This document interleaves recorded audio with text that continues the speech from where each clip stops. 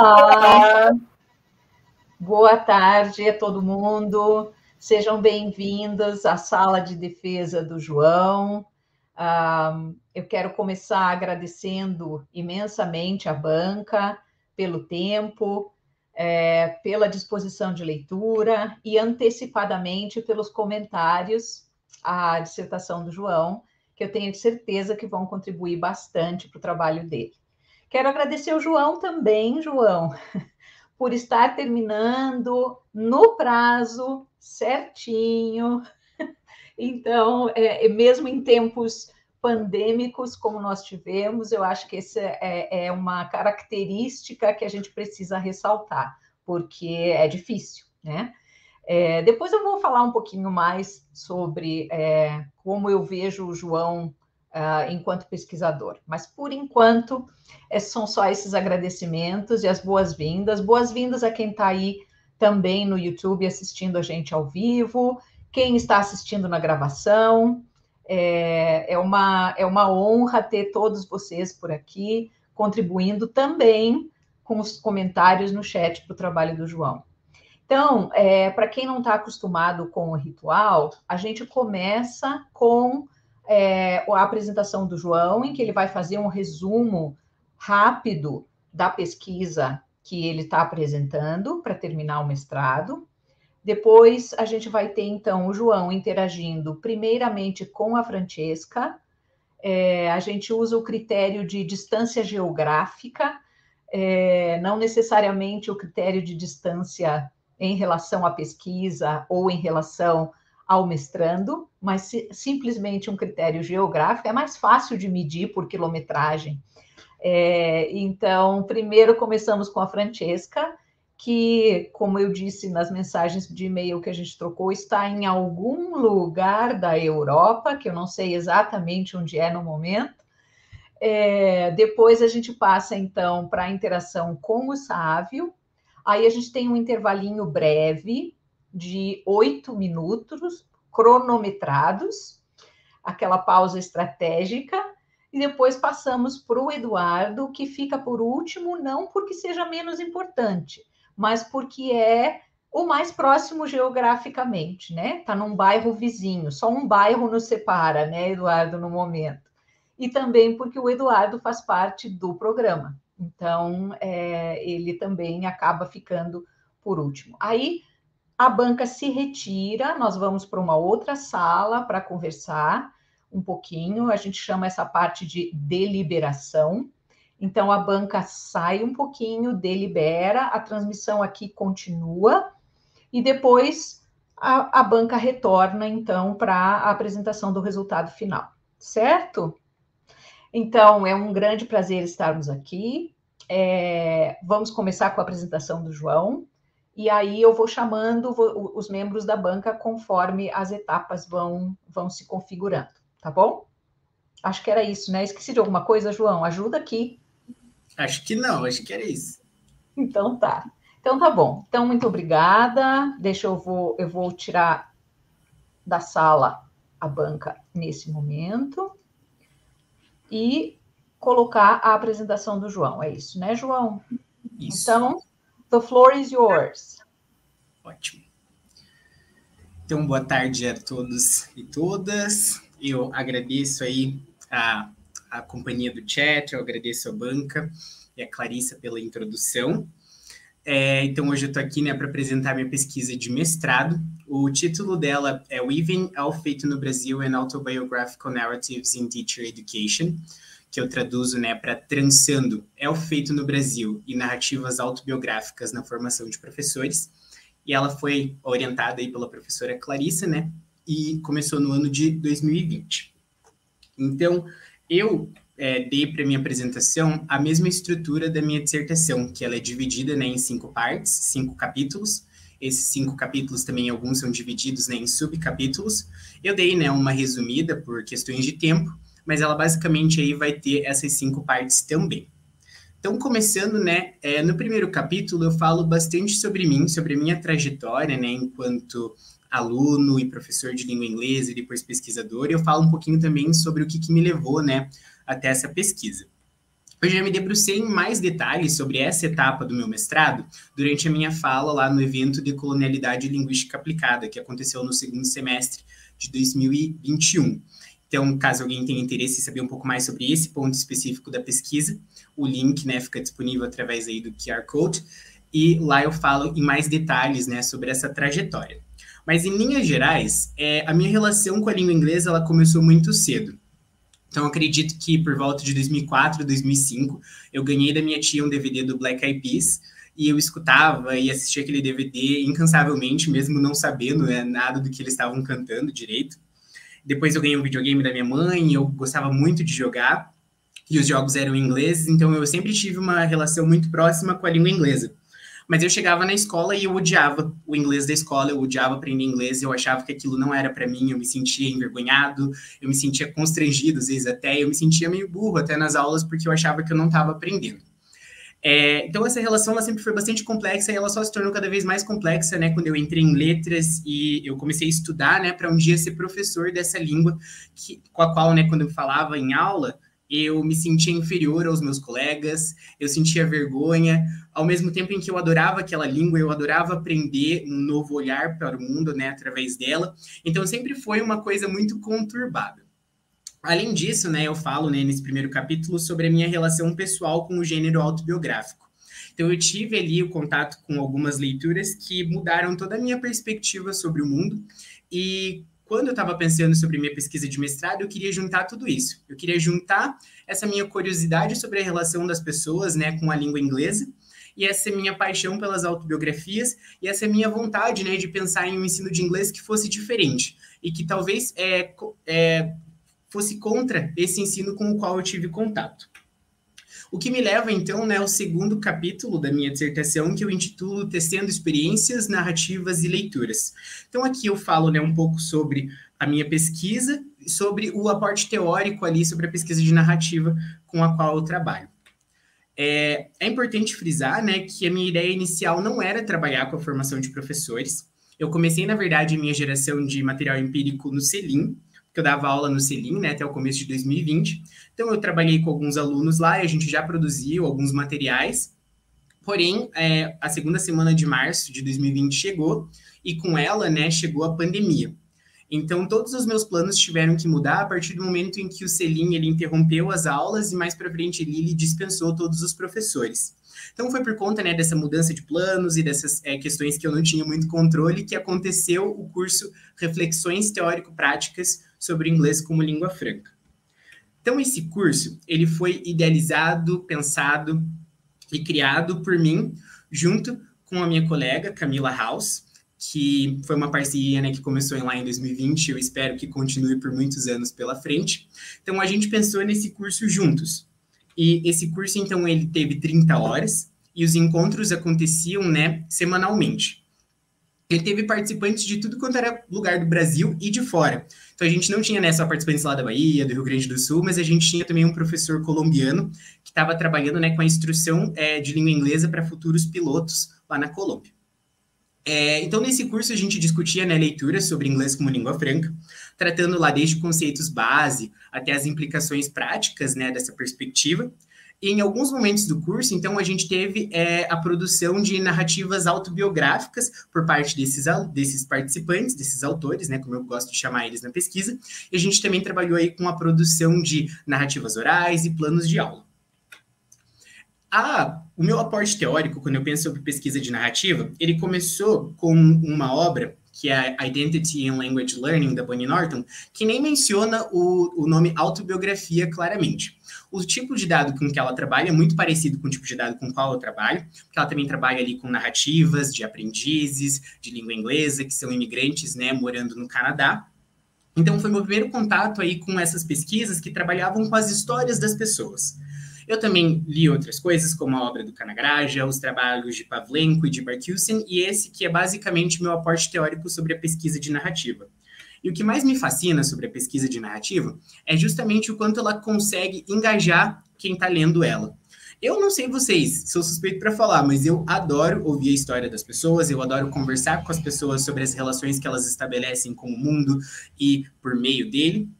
E eu acho também que me fascina essa questão de serem é, textos mais acessíveis. Então, elas atraem uma audiência maior, é mais interessante de ler um dado ali autobiográfico, narrativo. Eu acredito também que tem uma forte questão reflexiva, é, tanto para aqueles que escrevem os textos quanto para aqueles que vão ler, né? Eu refleti muito enquanto eu lia essas, essas narrativas que os participantes me enviaram.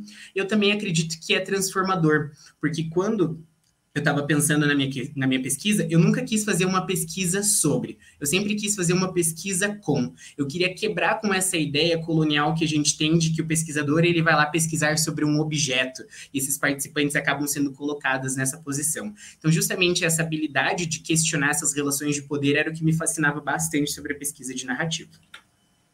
O que me leva, então, ao meu capítulo 3, que é onde eu discuto muita coisa, é o meu capítulo mais denso, na minha opinião, que é onde eu vou falar, então, sobre concepção de língua e como o inglês como língua franca virou a concepção de língua que eu levo para a sala de aula. Então, quando a gente pensa em ensino de língua inglesa no Brasil, a gente tem como paradigma dominante essa ideia de inglês como uma língua estrangeira. E o que, que significa, né, falar que o inglês é uma língua estrangeira? Significa entender que essa é uma língua do outro, e sendo essa uma língua do outro, a gente pressupõe aí uma superioridade do falante nativo. Então ele é entendido né, como dono da língua e aquele modelo que a gente vai é, imitar.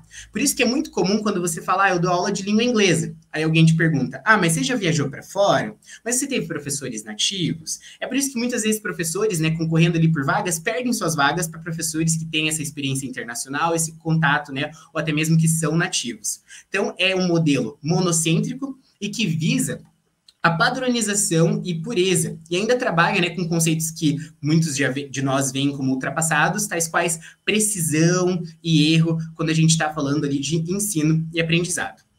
Então, para pensar o inglês como língua estrangeira por meio de uma metáfora, eu gosto de trabalhar com essa ideia né, de que o inglês como língua estrangeira, ele entende a língua inglesa como aquela roupa que você emprestou de alguém, aquela roupa de segunda mão que você veste e não te cai bem. Então você vai lá no casamento de alguém, você empresta o paletó do primo e o paletó fica todo largo em você, fica todo estranho, porque justamente ele não te pertence, não foi feito por e para você.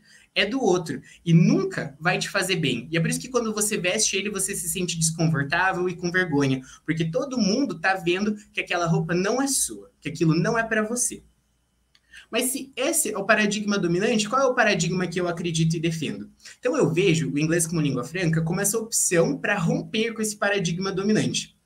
É um termo elástico, então ele não significa uma coisa só. Então, muitos entendem como uma área de estudos, uma perspectiva, um conceito de língua, ou até um fenômeno, né? Entendeu aí o Global Spread of English. Então, esse conceito surge ali na década de 80, como parte né, de um paradigma que estava aí tentando descrever esses diferentes ingleses não nativos, mas eu me alinho mais com esses estudos nacionais sobre inglês como língua franca, que expandem aí essa noção. Então, o ELF feito no Brasil, que é uma ideia proposta por Duboc depois revisitada né, por Duboc e Siqueira, é a perspectiva que eu sigo. Eu vejo ELF no Brasil, feito no Brasil e, né, a caráter de esclarecimento. ELF significa o mesmo que ILF. English as a língua franca. Então eu vejo o feito no Brasil como um movimento político epistemológico que visa né, destacar os estudos brasileiros sobre youth e as suas especificidades. Então não é só uma perspectiva acadêmica, é um movimento político, é uma, uma linha que está querendo chamar atenção para os estudos que estão sendo feitos aqui para especificidade deles. Então, tem aí uma forte perspectiva decolonial e essa intenção de pensar em ações locais em relação à língua inglesa e as transformações da realidade em que a gente vive. E tem também uma preocupação muito grande com o status político da língua inglesa e os, as implicações dessas teorizações no ensino. Então, o que, que significa ensinar inglês no Brasil? O que, que significa aprender inglês no Brasil? Quais os impactos materiais desse processo? É isso que essa perspectiva aí se preocupa. E já que a gente pensa nessa essa questão, já que eu gosto de pensar nessa ideia da vestimenta, se por um lado, inglês como língua estrangeira é essa roupa do outro, eu vejo é, uma concepção de língua pautada por esses critérios como uma roupa ali que foi construída por meio de um processo de upcycling. E o que, que é esse upcycling? Upcycling, me enrolei todo. É você pegar essa roupa do outro e você transformar ela em algo novo. Então é você fazer com o velho algo novo, você criar com o velho algo único. Então, essa língua não é mais do outro. Essa língua é minha também, ao mesmo tempo que ela não é de ninguém, ela é única e ela se transforma à medida que eu vou ali interagindo. E só a caráter de explicação, é uma metáfora muito cara para mim, porque a minha mãe sempre foi muito preocupada, né, com que o filho dela fosse bem vestido, tivesse as roupas ali sempre combinadinho, porque ela, né, sempre foi vendedora aí de roupas. E a minha avó foi costureira a vida inteira e é por isso que eu tenho uma tatuagem de máquina de costura. Então é uma metáfora muito cara para mim, porque volta à minha autobiografia. E, né, já que eu tô falando sobre autobiografias, eu não podia deixar de falar um pouquinho sobre a minha. Então, né, eu chego no, finalmente no meu capítulo de análise, que eu chamo de um patchwork de narrativas. Então, um patchwork é basicamente aquelas colchas, né, aqueles tecidos que são construídos por meio de retalhos de outros tecidos. E isso remete aí à metodologia de análise que eu adotei no meu capítulo em que eu olho para as narrativas compartilhadas aí pelos participantes da minha pesquisa. Então, foram 18 narrativas autobiográficas sobre a relação das autoras com a língua inglesa. Então, é, já logo depois do primeiro dia do curso, eu pedi né, que elas escrevessem, então, sobre como elas aprenderam, qual foi a jornada com elas o aprendizado, quando elas começaram a dar aula, se já eram professoras, e justamente esse é o meu conjunto de dados principais. Além disso, eu trabalho também com 20 horas de gravações dos encontros síncronos, que foi de onde eu tirei o que eu chamo, né, por meio de Barthusen, que é um conceito que ele criou, que são as short stories, que são momentos de dados maiores em que essas histórias pessoais foram compartilhadas pelas autoras. Então, vamos supor, a gente estava lá discutindo um conceito e elas falaram sobre uma experiência de vida que dialogava com esse conceito. Então, eu transcrevia isso e transformava isso, então, numa pequena narrativa, uma short story. Então, por meio né, desses dois conjuntos de dados, eu teci histórias de diferentes autoras para criar então essas narrativas que dialogassem com as minhas perguntas de pesquisa. E é por isso então que eu chamo né, de patchwork de narrativas. Então, eu tive três perguntas que eu é, abordei nesse meu capítulo de análise, e a primeira delas era uma pergunta mais exploratória. Eu queria entender que tipo de experiências eram compartilhadas, então, quando a gente estava ali discutindo sobre inglês como língua franca e seus conceitos básicos. E diversas histórias foram compartilhadas. Foi um capítulo até difícil de fazer, porque tinha muito material para olhar quanto a isso. Porém, eu tomei a, a, perspectiva de usar sempre uma narrativa escrita como base e trazer, é, durante a análise dessa narrativa base, outros textos e trechos de textos que a, dialogassem ali com o que estava sendo dito, não só pela narrativa, né, mas pela minha análise ali, a minha leitura dela. E o que para mim se destacou foi que a maioria dos participantes, eles não demonstraram essa relação de, ah, eu amei a língua inglesa a minha vida inteira. Na verdade, muito pelo contrário, a maioria deles falam justamente dessa relação de altos e baixos, desses sentimentos, né, vistos socialmente como sentimentos, sensações, emoções positivas e essas emoções mais negativas. E é muito interessante também olhar que muitas dessas autoras, elas tinham essa noção muito forte da língua inglesa desde muito cedo, essa consciência para o status dessa língua. Então, essa autora aqui, por exemplo, ela começa ali, já terminando no primeiro parágrafo da narrativa dela, falando que ela não gostava de aprender inglês na escola, que ela achava os, os exercícios de grammar chatos e que ela queria uma outra experiência, justamente ali para poder conversar com pessoas em inglês. E ela, né, narra ali com bastante detalhe toda a sua trajetória em língua inglesa, que também foi cheia de altos e baixos, até ela chegar na conclusão, que acho que simboliza muito aí do que eu tirei dessa experiência. Então ela diz assim: de forma resumida, eu diria que minha relação com o inglês é complicada e sempre será, mas não posso negar que não seja importante para mim, pois de certa forma é parte de quem eu sou e de como tenho me construído como pessoa, estudante e professora.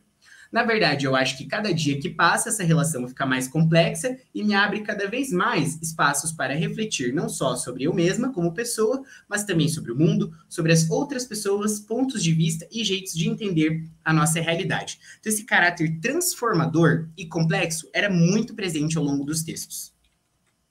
A minha segunda pergunta, ela já entrava um pouquinho mais no meu tema, que era justamente é, ali tentar determinar se essas experiências então podiam ser descritas dentro de uma perspectiva que entende o inglês como uma língua franca e principalmente ali essa perspectiva do elf feito no Brasil. A narrativa que eu usei como é, pilar central desse subcapítulo, ela foi feita por uma autora, uma autora que compartilha algo que foi compartilhado por várias outras é, autoras também, que é justamente essa é, curiosidade ali desde a infância do porquê que o inglês estava presente ali no seu dia a dia. E isso dialoga com a minha pergunta, porque eu penso assim: se o inglês como língua estrangeira, essa língua do outro, essa língua estrangeira, fora de mim, por que, que essas autoras, então, descrevem uma história que também é muito parecida com a minha, de ter contato ali diário em sua vida com a língua inglesa? E ela também fala sobre começar a aprender e se divertir ao descobrir um mundo novo aí através de uma língua inglesa. Então, ela não estava aprendendo para falar com falantes nativos ela estava aprendendo para expandir o seu olhar para o mundo. E isso é muito relevante para mim quando eu penso então sobre algo feito no Brasil. É também interessante que essa autora e outras compartilham experiências de intercâmbio, mas em momento nenhum elas destacam que ah, o intercâmbio foi essencial para que eu aprimorasse ali a minha proficiência. Elas destacam justamente a experiência de vida, a mudança de relação com a língua inglesa, olhar para o mundo de uma diferente forma, adquirir uma bagagem cultural. Isso, para mim, também contrasta aí de frente com essa ideia hegemônica do inglês como língua estrangeira.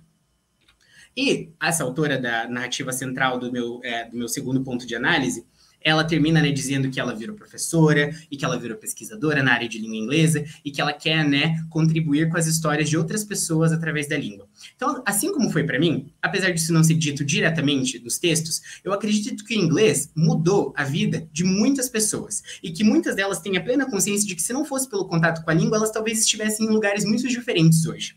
Então, para mim é muito relevante pensar isso e pensar né, nessas experiências. E eu acredito que sim, de fato, o El Feito no Brasil explica muito aí dessas relações e como elas são estabelecidas.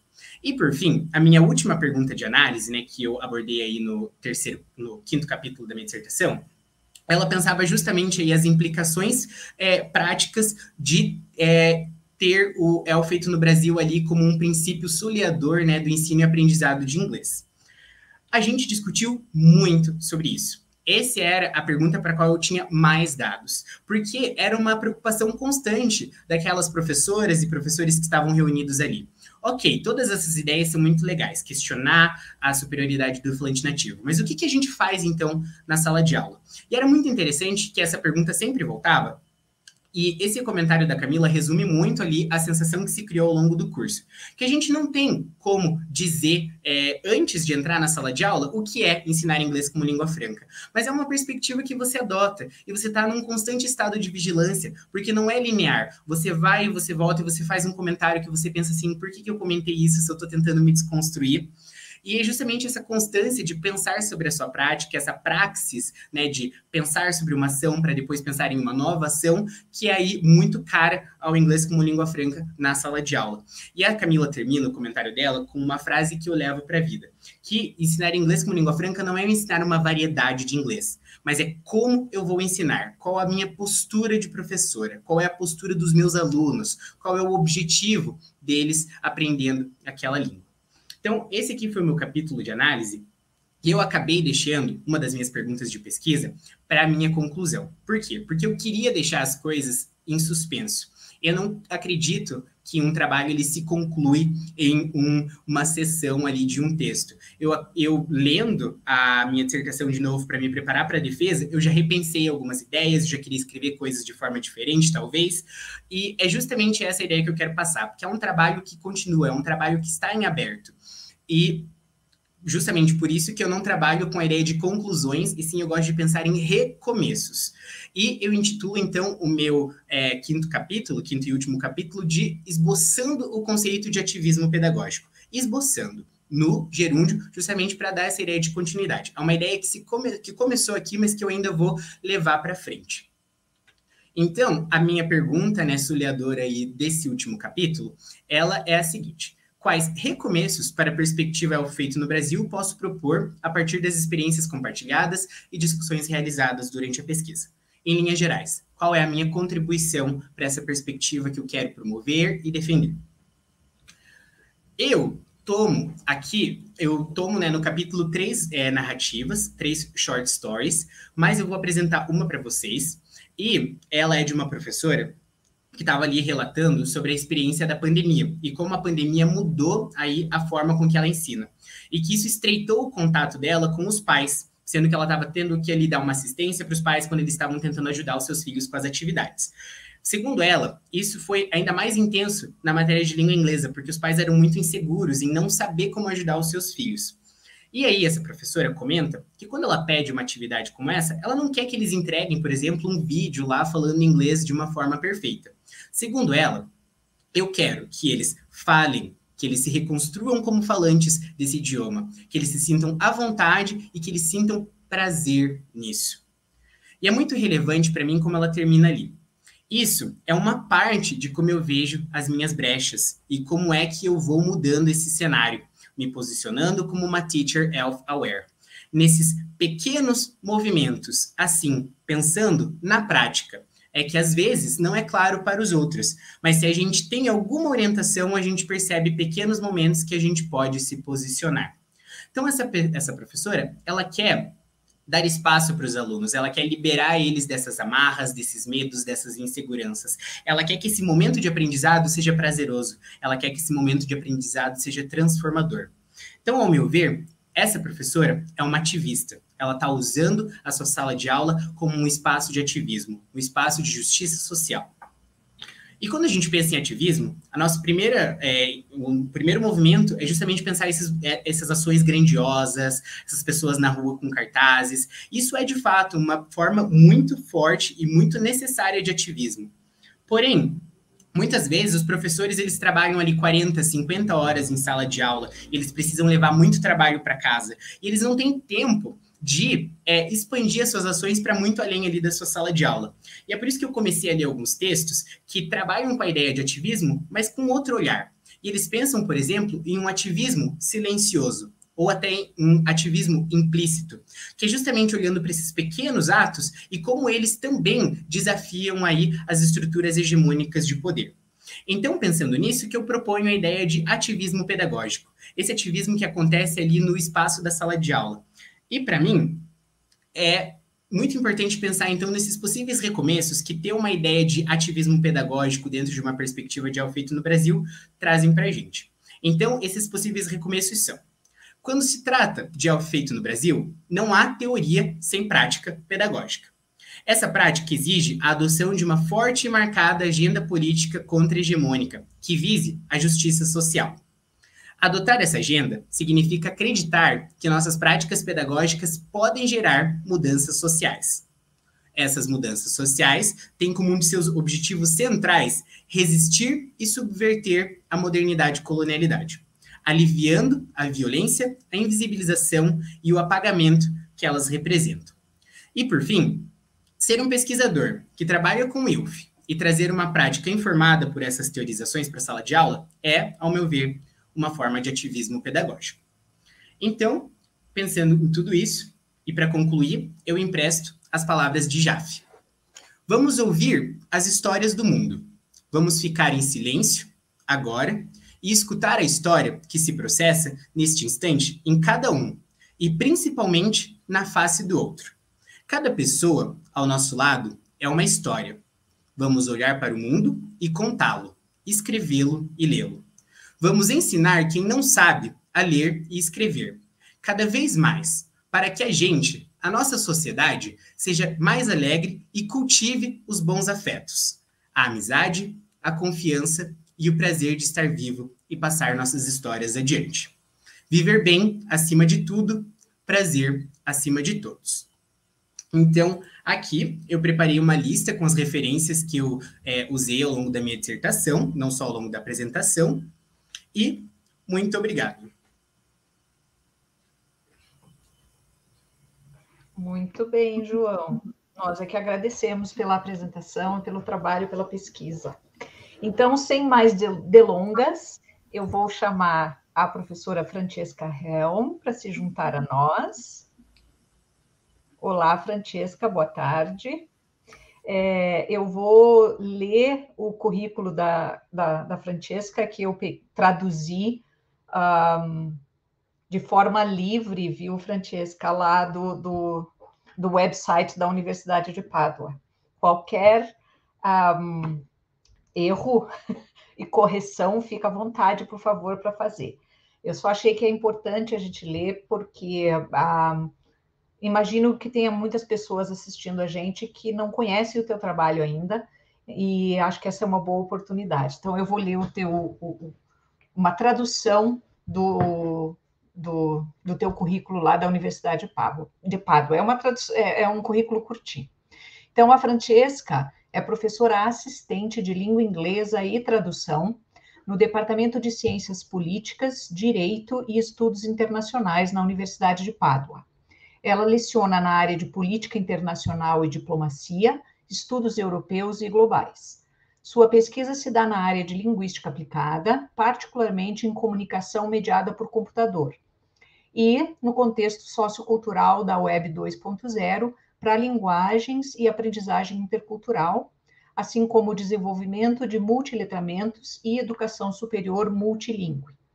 Seu interesse específico está em abordagens dialógicas para trocas virtuais, tensões e resoluções de conflito, o uso de inglês como uma língua local e perspectivas e abordagens decoloniais para a educação linguística. Acho que vai ficando clara a razão ou as razões pelas quais ela foi chamada para discutir o trabalho do João.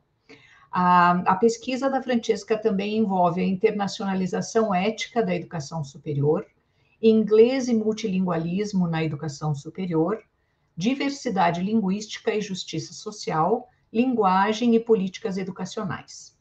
Ela lidera o Working Group in Education Innovation, no grupo de universidades de Coimbra, co-coordena a participação italiana no Scholars at Risk. E ela também participou de vários projetos europeus, o mais recente, que está lá no website, é o projeto piloto de intercâmbio virtual da Comissão Europeia do Erasmus. Espero não ter errado muito na, na, nessa breve descrição. É, e eu quero só avisar as pessoas que o João, a, a tese, a, a, dissertação do João foi escrita em língua inglesa, né? Ele pode depois, em algum momento, explicar por quê, né? Ele justifica isso, essa escolha na dissertação, e grande parte dessa escolha foi em função do nosso imenso interesse em ter a Francesca é, trabalhando junto, ajudando a gente no desenvolvimento da pesquisa. E aí o uso da língua inglesa acabou mesmo como uma funcionando melhor com uma língua franca entre nós, né, a Francesca? A Francesca está é, tá na Itália, ela entende português, mas é, fica mais confortável para ler um trabalho na, no, no fôlego de uma dissertação em língua inglesa. Então, por isso também a interação da Francesca com o João agora vai ser é, em língua inglesa, mas assim, né? Naquela perspectiva de translinguajar maturanicamente, né? Então, fiquem à vontade para transitar entre uh, as línguas da maneira que vocês acharem mais interessante dentro do repertório de cada um, tá bom? Francesca, Muitíssimo obrigada. Thank you a million for being here, for helping us, for following um, João's work um, so closely and being so available. It's a big pleasure to have you with us. E agora, então, eu me retiro a minha insignificância e deixo a Francesca e o João à vontade. Só não esqueçam de abrir os microfones, por favor.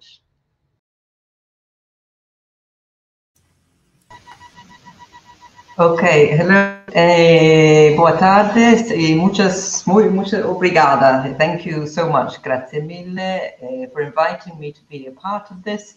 It's an honor and uh, privilege for me uh, to join you again, Joao. I have a very fond memory of our last meeting uh, at Dela. Um, and it's been great to read, to follow up your work after this um, and to read your thesis. And so I'd like to really start by complimenting you for, for this.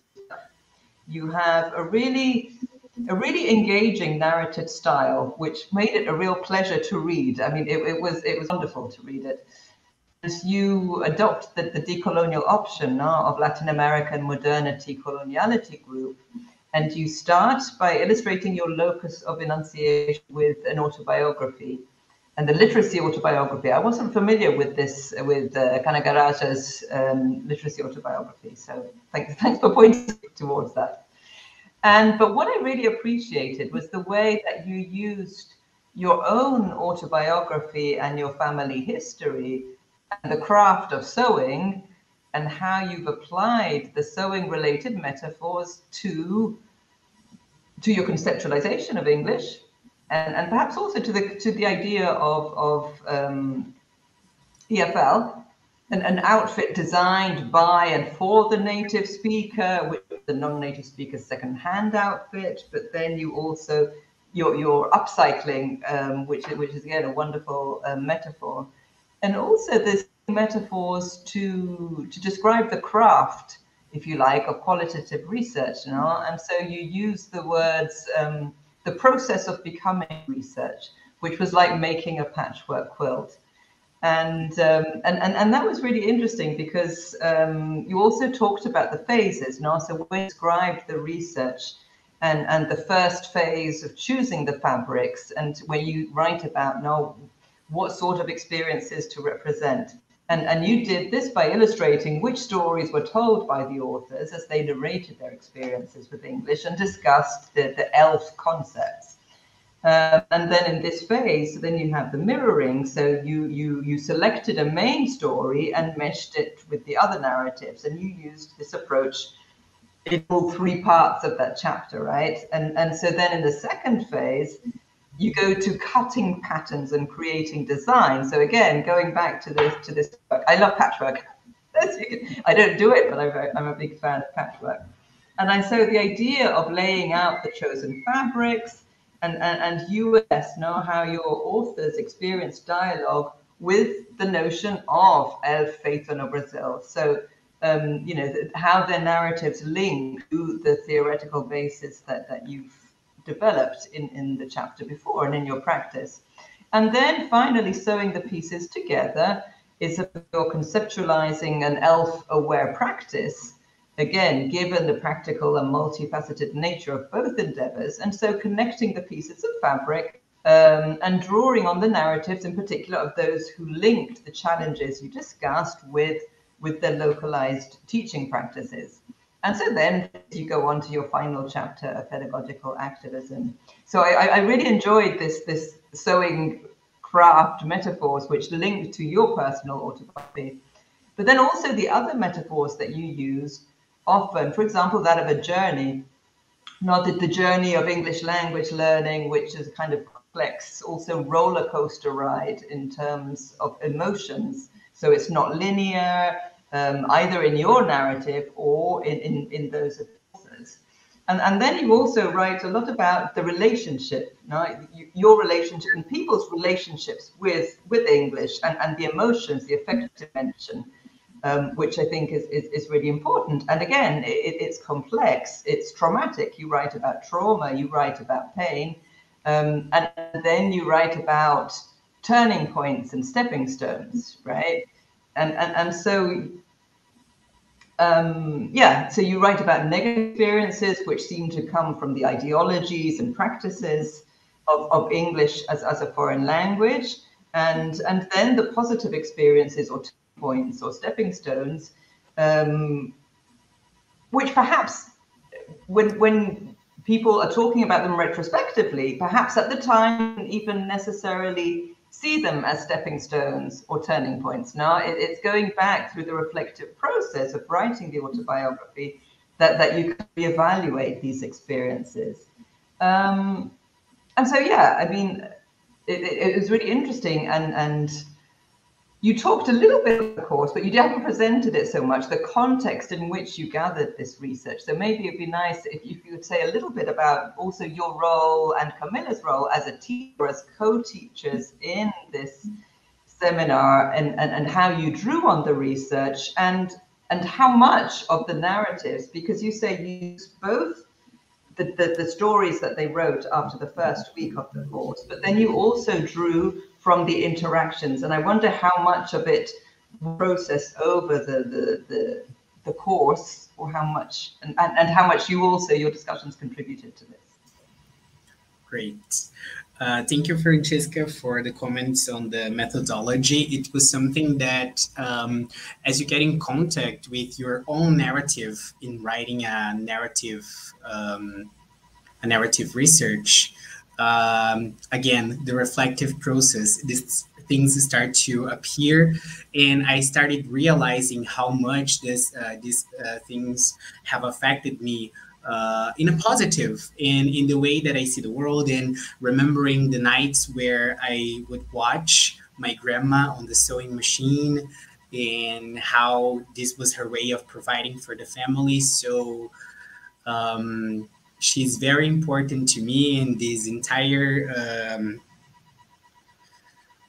this entire moment of writing was really an homage to her and i want this to live forever because she will live forever for me.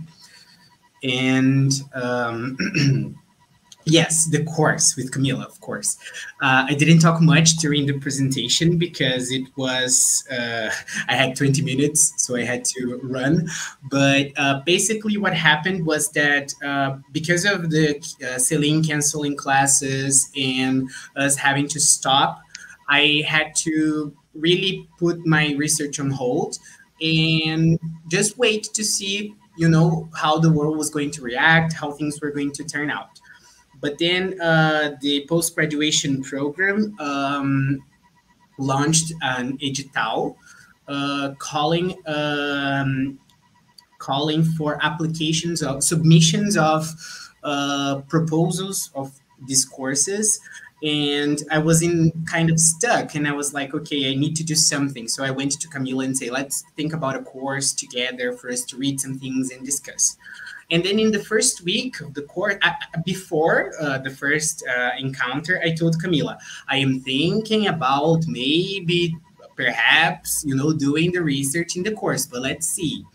And um, and then when I decided to really do the research there was really after the first encounter and after reading these narratives and realizing that they were bringing some very important input. But basically, the course was constituted of this, this, first encounter, what was really like uh, getting to know and let's start to brainstorm some concepts. And then we would read, we would uh, read some texts, talk about these texts. There were moments where the discussions were very free. So we asked the participants, like, bring questions, let's discuss upon your questions. And then there were moments where we would do something more guided because we started to realize that there were participants who had a lot of contact with elf theory and there were some that were just starting to read about these topics. So really to make things a little fair. But camila and i we were there like all the other participants. We were sharing our doubts our questions and our comments. So basically this was the course. But then for example if we were discussing uh, repertoires uh, linguistic repertoires and translanguaging and uh, things like this, a participant would come and share a story about a, a child in their family that had an experience that dialogued with the things we were discussing. And then these moments were the ones that I took as the short stories. I've watched all the 20 hours of video. I make all of the notes. And when the person started to share a personal narrative, I would stop and I would transcribe. And then after transcri- transcribing what I see as uh, the majority of the short stories, I read all of them and, and started to really piecing things together. But the process was very uh, non-linear. You know, I started writing and then I was like, okay, that story fits here uh, this story may fit here, but then I changed the position. I was like, no, let let me change things out. So I probably left 80% of the data out, but I had to make these decisions. I had to make some uh, really uh, uh, tough tough calls in in deciding what data I would focus. But uh, I believe, let me think, that I had. Um, yeah, around 18 uh, initial autobiographies and 70 pages of transcriptions for the encounters around around and then yes this was my data and how I, I really constructed from the course. And then just as a clarification in the end of the course we had a moment where all the participants came together to share class plans that they thought about after these discussions we were having. So basically this was the course. Wonderful, wonderful. And and and so it, you mentioned a, a, little bit about um, the challenges with ELF, and, and a couple of the teachers saying how difficult it was for them to understand how you could put it into practice. That, in a sense, sometimes you know, teaching the EFL approach and language as structure, in a sense, it, it's something you know, in a sense. Though, so despite you know the, the the critiques of it, and despite how it kind of puts you, it might put you on the other side of the abyssal line. Um, yet it is something that teachers might be comfortable with in, in classroom. Um, yet ELF is, is more difficult to kind of come to terms with in, in ways of teaching. And, and so there's this kind of tension, no? Because in, in, in, in, in the narratives, when people write about their experiences, a lot of the kind of the violence comes from the classroom um, from from teachers, but also from the peers. Um, you know, the idea of, of, of, there is a right and a wrong, or what is correct and what is not correct, and and mentioned a little bit the struggles with getting away from that. Um, so I was curious also to see because I think you said at the end of the course they had to come up with a teaching L, right?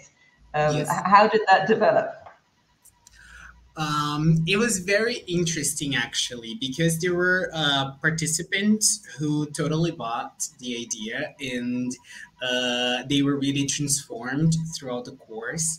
I remember a moment where there was uh, one of these participants. She was great. I, I, really miss having contact, weekly contact with her, and um, she always she was always very um, preoccupied with knowing all uh, the definitions and all the terms and everything. And she was always making notes and asking us questions. Like for example, Kanagaraja doesn't say uh, English as a lingua franca. He says lingua franca English, and she was very preoccupied with knowing the, extremely the differences between uh, calling the, the things uh, this way.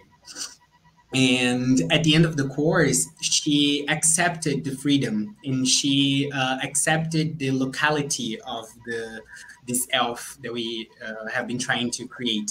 And uh, she really thought about her students and how she could take these discussions for them. So there were people that were really transformed throughout the course in, in my eyes. But there were people that, uh, in the end, they presented a class plan working with the present continuous and different ways of working with the present continuous and the structures. So I was like, okay, you know, maybe the discussions had different impacts on people. And I think that in a way, it is really this uh, paradox because ELF is indeed uh, liberating and more democratic and transformative. But it is new, and the new is always scary. And sometimes I we kind of accept the violence of the known because it's better to kind of stay in this uh, round that we know. Like it's better for me to create a class plan about the present continuous instead of you know trying to rethink about ways of working with the language that maybe differ from this that I am already used to. So yeah, there were participants that really dig the the idea, but there were some that they were more resistant, I guess. But the majority of the participants in the end were accepting that teaching ELF is more about your position in the classroom and the stance you take as a teacher rather than a variety and a methodology and things like this. And, and, and so you chose um, it's another question about about ELF. So you chose the ELF kind of paradigm, the language of ELF, um, you say kind of is, is, quite similar to the concept of, for example, a global language or English as a global language using um, thinking of, of Lin-Manuel Menezes de Souza's conceptualization and, and, and Guillerme. Do you see any differences or do you see it as, as pretty the, the same approach towards? I, I believe that um, there there is a there is a point in my research where I discuss this this subject, and at one point I was like, okay, but why haven't I decided to talk about local languages then? Um, but in my eyes, this ELF, this ELF feito no Brasil, uh, the research we do here is working with very similar things as the discussion of a glocal language, but I think that they are different. I think that the glocal language really uh, comes from this uh, paradigm, this perspective that is uh, challenging notions of uh, globalization and that is really that are really working with these topics. And for these discussions, it is interesting to challenge the idea of ELF but more in the phases one and two of ELF, mm. this idea of an international ELF, an ELF that connects different speakers. So I guess that for these works, this more initial um, takes on ELF, it is very interesting to have a perspective such as local languages because I really think that this idea of an international, a, uh, a possible to describe international English is very in sync. Uh, the problematization is very in sync with what El Feito no Brasil is doing. But I think that the, um, in my eyes, the intentions of the two concepts are a little bit different. Mm-hmm. No, I see El Feito no Brasil more than, uh, besides being a, an academic uh, discussion, a concept, it's really more a political movement of uh, coming to terms that the research we do here is different and that we should highlight this different. Mm. Because I want to participate in this movement, this collective of researchers, I aligned myself more with this uh, this term, this concept. And, and, and is that what distinguishes then El Feito no Brasil? Is, is the kind of political and activist stance and the working? You, you talk about also working, the idea of doing research with, not the collective of the, the participants or the writers in your course, the teachers course. Yes, um, these and the the decolonial and the epistemologies of epistemologies of the South uh, background, the, the theory that is uh, uh, based upon uh, the this preoccupation, these uh, theories and the preoccupation, yes, that, result from these problematizations with teaching and the status of English here in Brazil. So I guess that it's uh, a more direct and, like I say, activist approach to the to the notion in my eyes.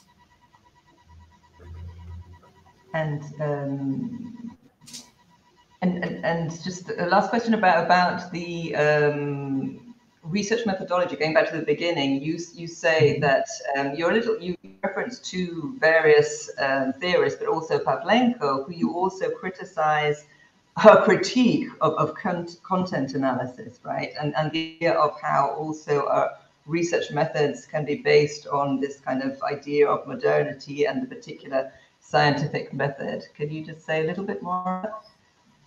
Yes, um, Pavlenko really helped me into thinking about how I would address these registers, these autobiographical narratives. Uh, she does a very, a very good problematization of the fact that sometimes we just piece texts together, but we don't say much about what they are trying to say, or sometimes we just stick with what is said and we don't try to read in between the lines and really interpret and do textual analysis. And then she brings Bakhtin to really help her in the process of the discourse. So uh, um, I really think that this side of her work really helped me, like thinking in how I would construct my reading of the, the texts. But I don't like this idea that she presents of uh, the how can I say this in English? Just a moment. Um, and she kind of makes me believe from one of her texts that there is a way that different researchers would come up with similar readings if they follow the same approach.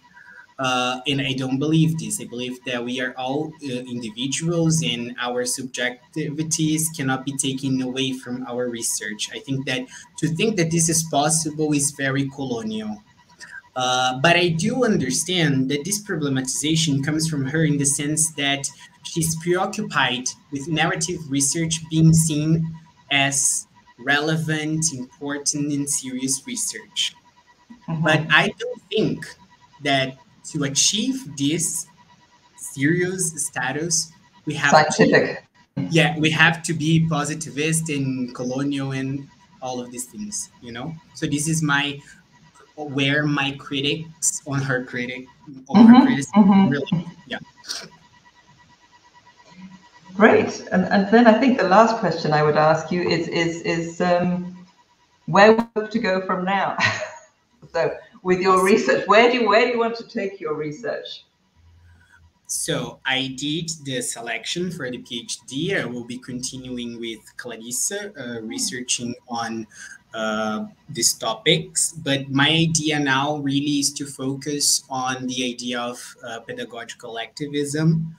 I want to go back to the classroom. I want to really think about uh, the classroom as a space for where we can promote social justice and I really want to develop uh, projects on this or with this idea in mind. I want to work, continue to work with uh, teacher education. So basically, my focus of research now will be uh, pedagogical activism, and I really want to grow on this idea and to really read more about these and participate in projects that will help me have a broader perspective on these topics. Really get in contact with other teachers that maybe are thinking uh, things like this. So this is where I'm taking my my my studies now. Great, thank you, thank you very much. Wow, for an interesting discussion and for a wonderful thesis. Really, really pleasurable and enjoyable to read. Strongly recommend. Thank you very much, Francesca. Very kind.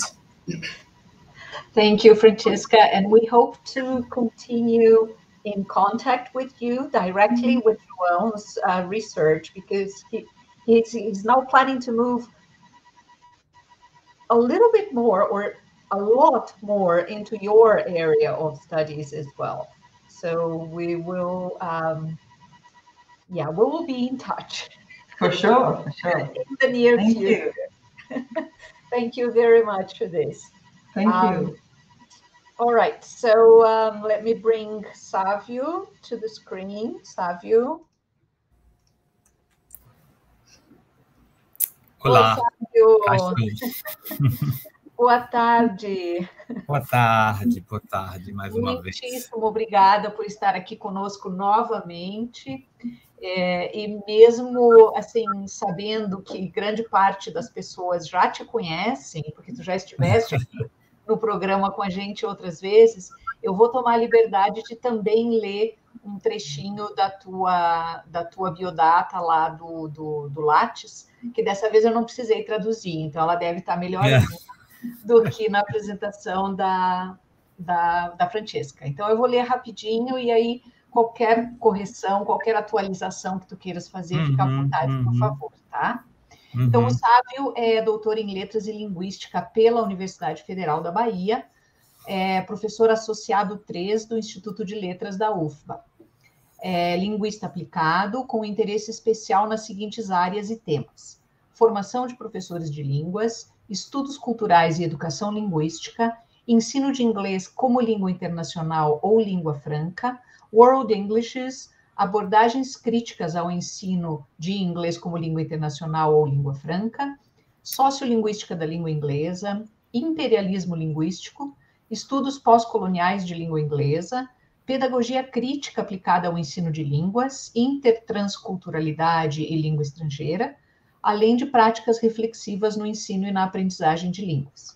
É líder certificado do grupo de pesquisa Inglês como Língua Franca Brasil UFBA e exerceu por dois mandatos a coordenação do programa de pós-graduação em Língua e Cultura da UFBA. É professor permanente do programa de pós-graduação em Linguística e agora, sabe, o PPG Link. Língua é, e Cultura. Língua e Cultura. Ah, ok. Do programa de pós-graduação em Língua e Cultura da UFBA é, e do programa de mestrado em Letras e Linguística da UFT em Porto Nacional, no Tocantins. Na extensão, ele exerceu orientação acadêmica de língua inglesa do Núcleo Permanente de Extensão e Pesquisa do Instituto de Letras da UFPA por 10 anos, é tempo, hein, sabe? E atualmente atua como coordenador geral do projeto. Ele conduziu estudos de pós-doutorado dentro das temáticas inglês como língua franca, pedagogia crítica e produção de materiais didáticos no Departamento de Estudos de Segunda Língua da Universidade do Havaí, campus Manoa, Honolulu, Havaí, Estados Unidos, com bolsa CAPES Fulbright. Eu não vou ler o ano, tá? Colabora com o mestrado em multilinguismo, linguística e educação da Goldsmiths University of London e com o mestrado interinstitucional de educação bilíngue da Universidade de Jaén, na Espanha. Basicamente, é isso. Bem basicamente. Então, Sávio, seja muito bem-vindo. Muitíssimo obrigada também pela tua disposição sempre né, em atender aos nossos chamados. É, obrigada pela tua participação na qualificação do João, é, né, por todas as dicas. E, enfim, estamos muito felizes e muito honrados de ter a tua presença aqui. Então, eu me retiro novamente e deixo Obrigado, o, a tela para vocês. Obrigado, querida, obrigado. Então, é, boa tarde, João. Eu sei que os colegas estão aí é, no, no, backstage, então eu queria saudar, em primeiro lugar, Clarissa, uh, que é a sua orientadora e uma colega querida, é, a quem eu sempre direi sim, porque também sempre colaborou conosco e, e, e trabalha junto com, com, Desenvolvemos várias coisas juntos e é uma pessoa muito querida. É, também. Uh, Olha que esse foi. programa fica gravado, hein? Só estou avisando, só, só para lembrar que fica tá gravado. Tá não vou falar bobagem, não se preocupe. E também ao colega Eduardo, uh, também um parceiro muito querido, uh, uh, que falará depois de mim, e, claro, um prazer em, em estar aqui na mesa com a professora Francesca, é, e, lógico, com você, João, é, de uma dissertação que, é, é na verdade, é, tanto eu quanto Eduardo tivemos o prazer de trabalhar na qualificação e ver como você é, desenvolveu o trabalho de uma forma é, tão, tão criteriosa, tão, tão leve, né? como falou a professora Francesca, de uma leitura muito, muito tranquila, em que você se apresenta, o que eu acho muito bom, já que você estava falando de autobiografia ou de autoetnografia, como você define, é, você se coloca, e eu gosto muito dessa coisa de, de, de você se colocar com, juntamente com, com seus, seus participantes como autores do trabalho. E ali vi muita coisa que a gente discutiu, que você trouxe, expandiu, e, e também uh, eu acho que, que eu tenho que. Eu, eu enxergo o seu trabalho como um dos primeiros trabalhos talvez seja o primeiro, acho que talvez o segundo, junto com Gabriela, lá da USP, que, que já falou um pouco também sobre, baseou um pouco também nessa nossa discussão sobre né, Elf Made in Brazil. E, e, como, como é bom ver vocês, jovens, ah, nesse, nessa, nesse trabalho de ativismo mesmo, no sentido de, de, de dar uma, uma, uma, conotação bem local à, à, nossa prática, à nossa teorização, é, e transformar é, de maneira extremamente, eu diria, a, criativa o, o, todo o saber que possa ser levado para a sala de aula e, e, e, mudar essa realidade que, que tanto você tanto e você fala disso, né? Que tanto oprime, que, de, que, que dita normas, regras. Então, assim, eu acho que seu trabalho tem essa essa digamos essa característica de inovação e também porque ele, ele expande né, é, começa a expandir, embora você diga, olha, é, é uma coisa ainda ah, digamos, aliás, ela é, é, sempre um recomeço, são recomeços, então eu acho que, que você deixa aberto e inova em não ter nem considerações finais, né? Você inova em dizer, olha, eu estou deixando isso aqui para tanto para que eu possa refletir, mas também para que quem venha depois de mim aí possa pegar isso e, e, e, levar adiante dentro de um outro aspecto, uma outra, digamos, um outro, um, um outro olhar, mas é, é, assim, o seu trabalho, eu diria que em linhas gerais, é, é eu, eu fiquei muito satisfeito com o resultado e queria uh, congratular tanto você quanto quanto sua orientadora é, e fico feliz em estar também ali junto, principalmente com Ana Paula, ah, digamos assim, em a gente poder ter dado esse pontapé, ela primeiro, né, esse pontapé inicial dentro de algo que eu tenho certeza que vai crescer, porque vocês vão vão levar isso adiante de, de forma brilhante. Então, assim, é, eu, eu já falei um pouco do ineditismo do seu trabalho, e eu gostaria de destacar assim que você faz esse essa referência que, que eu gostei muito e eu não sei se a gente discutiu na qualificação é o, a questão do ELT otherwise, né? Que eu sei que, que, que é uma alusão ao thinking thinking otherwise, né? Do, do, do da, da, da própria, dos, dos próprios trabalhos de decolonialidade do projeto uh, Coloniality Modernity, mas eu acho que você, você é, é um, um, se não um conceito, mas eu acho que é uma tomada, é um stand que você toma aí desse ELT otherwise. E, e, ele, e ele perpassa todo o seu trabalho, que é. O seu trabalho é, é, é não precisa nem dizer ele é decolonial, mas também ele é freiriano, porque é, você volta e meia eu, eu me batia com conceitos. Uh, olha, que eu nem, nem, nem reli a parte que, da qualificação. Eu disse, não, eu vou pegar aqui para não ser influenciado, eu quero ver o trabalho final. Então, você desenvolve, é, é, por exemplo, você traz aspectos como agência é, e elementos de uma pedagogia, de uma filosofia freiriana uh, que aparecem aqui, se não, digamos, de forma uh, aberta, mas muito, muito subliminar, não é? Então, assim, parabéns pelo trabalho, pelo resultado, e eu quero apenas dar algumas contribuições para fazer você refletir, é, e que você pode, você pode me interromper quando quiser, para que ele fique melhor, e não necessariamente que precisa mexer. Eu acho que, que o trabalho, é, é, por exemplo, em termos de linguagem, em termos de forma, ele está absolutamente. Uh, uh, e olha que eu sou chato com isso, é, ele, ele passou no meu crivo. Mas, assim, mas se for possível, a, a, digamos assim, elaborar algumas questões outras que me chamaram a atenção, mas não tome isso como algo que, poxa, isso empobrece o trabalho. Não, é uma forma da gente conversar é, apenas para, quem sabe, enriquecer realmente né, é, o trabalho.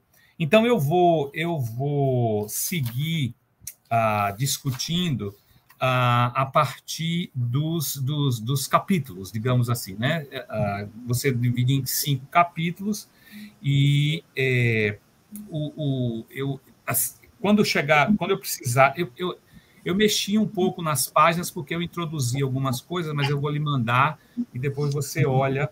É, por exemplo, é, em relação a Elf, Elf Made in, em Brasil, talvez seja interessante em algum, algum momento, porque assim você perpassa por língua, language concept, mas também fala de teaching concept. Uhum. É, e desse teaching concept, é, talvez fosse interessante é, você talvez explorar um pouco mais, porque language concept está muito claro e você trabalha várias vezes essa questão do language concept, mas também é, acho que poderia explorar essa questão do teaching concept, porque de certa forma eu acho que pode ajudar os nossos, os seus futuros leitores que estão aí, digamos, ainda struggling com é, o concept na BNCC, por exemplo, né? De como é, pensar a partir de um teaching concept. Existem respostas o tempo todo mas de repente você poderia sintetizar ah, pensando nesse leitor, né? E também você fala de paradigma e fala de filosofia. Não sei se você se lembra, em algum momento você fala uhum. paradigma, uma coisa, você fala filosofia. Então, é, eu, eu não teria uma resposta para lhe dizer assim, poxa, é um paradigma, é uma filosofia, né? é uma perspectiva. Então, de repente, seria interessante você, quando voltar ao texto, ah, pensando principalmente nos dados que informaram o seu trabalho, o que, que se encaixaria melhor? Né? Claro que você pode dizer, olha, é uma questão filosófica, é uma questão política, mas eu, aqui nesse trabalho eu estou pensando nisso, nesse, nessa perspectiva. Né? Bem, o capítulo 1. o capítulo 1 um, é, eu gostei muito, acho que a professora Francesca já tocou um pouco nisso, eu também já falei. É, eu adorei a metáfora, porque aí você remete às duas pessoas importantíssimas na sua vida, sua mãe, sua avó, a questão da costura, do patchwork. Eu, assim, throughout the text, eu, eu gostei muito e você não se perdeu, né? Você seguiu esse caminho da, de usar a metáfora da costura, do patchwork, é, do início ao fim. A sua história é uma história muito bonita é, e eu acho que se confunde talvez com várias histórias de meninos uh, que vêm de camadas menos abastadas, é, que acham que o inglês, que língua estrangeira não é para eles ou elas, que, que é uma coisa que você não vai ter acesso tão cedo porque não lhes pertence. Então, é, e acho que bate muito com o que você se propõe a fazer. Então, você parte de uma autobiografia, de uma autoetnografia para trazer aquelas de seus autores, né, das pessoas que estão trabalhando, com as quais você trabalhou, né? Eu, uh, eu, eu, já tinha falado que eu gostei muito de você fazer essa correlação com Pagu, então eu, eu sugiro que você, eu, inclusive eu fiz isso, eu, você foi ver lá, que você ponha uma foto de Pagu e uma foto do livro, assim como de Maya Angelou, que acho que você poderia, é, uma, uma notinha rendendo homenagem a ela, porque ela, neste ano, foi escolhida como uma das personalidades negras para fazerem parte da homenagem é, com os, os 25 cents, né, com o quarters nos Estados Unidos. Então, assim, muitas pessoas não conhecem, nunca ouviram falar tanto de uma quanto de outra, e eu sugiro que você é, informe essas pessoas e, e, e, e também com uh, botando uma, uma fotografia, e você encontra isso facilmente na internet.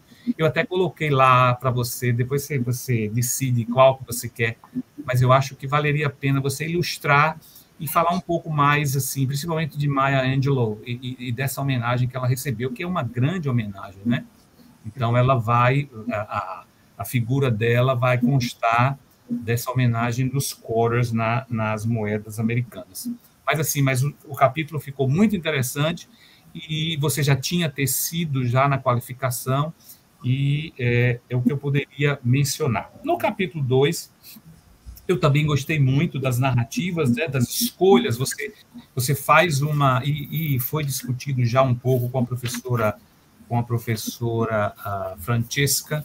Você, uh, uh, de certa forma, você ele, ele, ele ficou até um pouco longo, mas você, eu acho que foi necessário para você estabelecer até se tranquilizar em relação à escolha de que se seria uma coisa, se seria outra, por que seria uma, por que seria uma mescla, né? Então, assim, eu acho que, que, que o, o, o a, a, a, forma como você traz e, e, e, as visitas teóricas que você faz para as suas escolhas é, são bastante esclarecedoras e eu fiquei muito satisfeito e, e, e, me convenci de que você poderia fazer uma mescla realmente dentro dessa, dessa teorização. Né? Eu olhei as perguntas de pesquisa, que elas, elas ah, de certa forma, match os objetivos de pesquisa. Então, essa parte metodológica, ah, como né, a descrição do curso, como aconteceu, é, é, toda aquela aquela a forma de como você foi foi ah, traçando né, esse processo metodológico, eu achei que ficou muito bom, muito bom. É, quanto ao capítulo 3, aliás, o 3 e o 4 são dois capítulos, ah, aliás, o 3 é um capítulo, é segundo, seria um segundo capítulo teórico, mais denso, como você falou, porque ali você faz uma viagem bastante longa, inclusive associando questões de, de, de, né, de, linguística aplicada crítica com ILF, faz aquela revisão, viaja pelo, pelo conceito, pela discussão sobre ILF made in Brasil, traz o, o, o, o, aspecto da heteroglossia, então eu acho que ficou um, um trabalho bastante, bastante sólido, né? E, e, e que assim e, e, de certa forma, dialoga muito uh, ou perfeitamente com o, o que você explora nos capítulos 4 e 5. Né? Eu teria algumas coisinhas apenas para sugerir, por exemplo, naquela ongoing battle, eu acho que poderia, talvez você, se você pudesse dar uma lida naquele texto de, de, de, de Kurt Cohn, né, daquele do livro de 2018, que a gente que é, que é o, o, o livro onde eu tenho aquele capítulo sobre o The Plastic World, que foi organizado por Yasemin. Ele fala de uma conciliation entre, entre brothers, uhum. é, que é o EFL e o ELF. Se você não tiver, depois eu vou ver se eu consigo. Eu tenho o livro, talvez acho que eu consigo o, o capítulo, eu peço a ele e mando para você, porque ele fala, ele, ele faz uma discussão bem interessante sobre essa, essa, essa ongoing battle, né? E é, como é que esses irmãos podem, de certa forma, ah, não, não se conciliar, mas assim, mas de, de, de, de, de conviverem em, em, em algum, algum, tipo de harmonia. Acho que valeria a pena a, a explorar isso. Mas, assim, é, é como é, um, é, uma sessão pequena, mas é só para talvez expandir, não sei, aí fica a seu critério. Uma outra é discussão. É, querendo ou não, né, professor? Eu, desculpa interromper, mas é querendo ou não é o que a gente acaba tendo que fazer. Porque por é. mais que a gente queira falar assim, não, vamos se livrar de inglês como língua estrangeira, isso, não quero isso. mais. A gente trabalha em escolas que nos requerem que a gente tenha isso. certos posicionamentos ali, né? Vindo para lá e vindo para cá. Então, Inclusive que... porque você tem também os próprios alunos que a gente precisa respeitar, né? A gente pode ajudar a desconstruir o que eles trazem, mas é preciso também lembrar que eles, eles eles têm essa visão, né? que é uma coisa muito forte, muito arraigada. Aliás, todos esses aspectos que você discute muito bem, que são muito, muito ligados à, à, né, à força, digamos assim, do IFL, é, é, difícil você desconstruir isso. Como você fala no texto, tudo é muito, é algo muito paulatino, é, são, são as pequenas, os pequenos movimentos, né, que devem começar na própria formação, pra, como eu venho falando, os próprios formadores de professores, para chegar aos professores e finalmente chegar aos alunos e aos pais, os, os outros stakeholders que você é, traz também, né? Então é um processo lento e que de repente é, a gente tem que conviver com isso, né? É, é, é, e não é aquela ideia de replace one model with another one? E, e eu acho que tudo isso precisa ser levado em consideração. Você queria falar mais alguma coisa? Não, era isso. Eu também acho que é, é uma ideia que acrescentaria, justamente porque eu volto mais, é, acredito que é mais para frente no texto, e eu falo é, justamente sobre a colonialidade, né? Ela fazer, ela nos constituir também, e que você uhum. arrancar essa colonialidade de uma noite para o dia. Não é fácil, é, né? É tão violento quanto a, o, então, é, é violento também, vamos dizer assim, é violento né? também sim, sim. É, na, nesse processo. Então eu, eu acredito que super acrescentaria mesmo, assim. Foi, uhum. foi uma questão, acho que por desatenção, não desatenção, né? Mas a gente acaba focando em outras coisas e vai deixando, mas eu acho que super caberia, sim. É, assim como, por exemplo, eu acho que, que e você discute, essa é uma questão para a gente refletir, que eu vou trazer agora. Vai chegar o momento, João, que essa dicotomia native-non-native não vai nem estar presente nas nossas discussões. Você faz uma viagem muito interessante, você traz é, a, a, todos aqueles argumentos de Rajan que são, são, são muito pertinentes. É, e aí eu, eu, digo aqui, olha, vai chegar o tempo em que essa coisa de native, non-native, para nós, vai se tornar irrelevante. A gente sabe, de novo, que isso é uma força também lá, outra, que a gente vai ter que conviver com ela. Mas, por exemplo, nos nossos escritos, é, talvez já não seja mais nem relevante se falar disso, porque a gente já superou essa dicotomia, pelo menos na minha concepção, a gente já superou. Eu estou falando da academia, que, que, está uhum. mais engajada. É claro que para o professor mais, né, é o professor que está lá na ponta, é, o, a, o, professor que está em formação, isso ainda é muito forte, porque é uma força contrária, né? Então, assim, eu sugiro, sugiro você, você nada, nada que você traz é absolutamente pertinente. A minha única sugestão é que você, é, se possível, você falasse um pouco do conceito de native speakerism, né? É, a partir de outros autores, porque eu não sei se você talvez não teve tempo, você ficou muito, e, e lógico, o texto de Rajan, e, e, você sabe quanto eu adoro os textos de Rajan e a pessoa de Rajan, mas ele ficou como sua única referência. Uhum. Nada contra, no problem, mas de repente, se você pudesse, eu, eu até botei algumas sugestões aqui, é, depois, eu, quando eu mandar para você, é, que você, é, porque você não fala, ah, pelo menos eu não me lembro de ter aparecido o conceito de native speakerism, e o que, e o que pode, algumas discussões que são, que já avançaram em relação a isso, né? E no, no, na própria próprios autores de Elf também já discutem, o próprio Nikos já fala, né? Já traz essa questão. Então, assim, eu só achei que ficou, você ficou muito, muito, eu não sei. Aí é, também é uma dissertação de mestrado, a gente não pode também ficar assim sendo muito picky, mas é que todas as suas as suas boas, os seus bons argumentos foram sustentados por um autor. Então, é só uma, uma, uma, uma, Se for possível, se você achar que vai mutilar o, que, o seu pensamento, não precisa. Mas é só uma sugestão que eu, eu faço e, e, e coloco quando eu lhe mandar os textos, é? Uhum. Ah, eu, eu, eu gostei muito de todo esse elf background que você fez. Você atualiza o nosso trabalho, né? E você, e claro, a gente vai falar mais para frente. Eu não quero demorar muito tempo você dá esse passo além quando você fala do, do pedagogical activism, né? Ah, só, tem uma coisa que na minha página 67, quando você menciona, eu não sei se é a sua, quando você menciona Souza Santos 2002, é, e esse texto de Souza Santos, de Boaventura, é muito relacionado à globalização.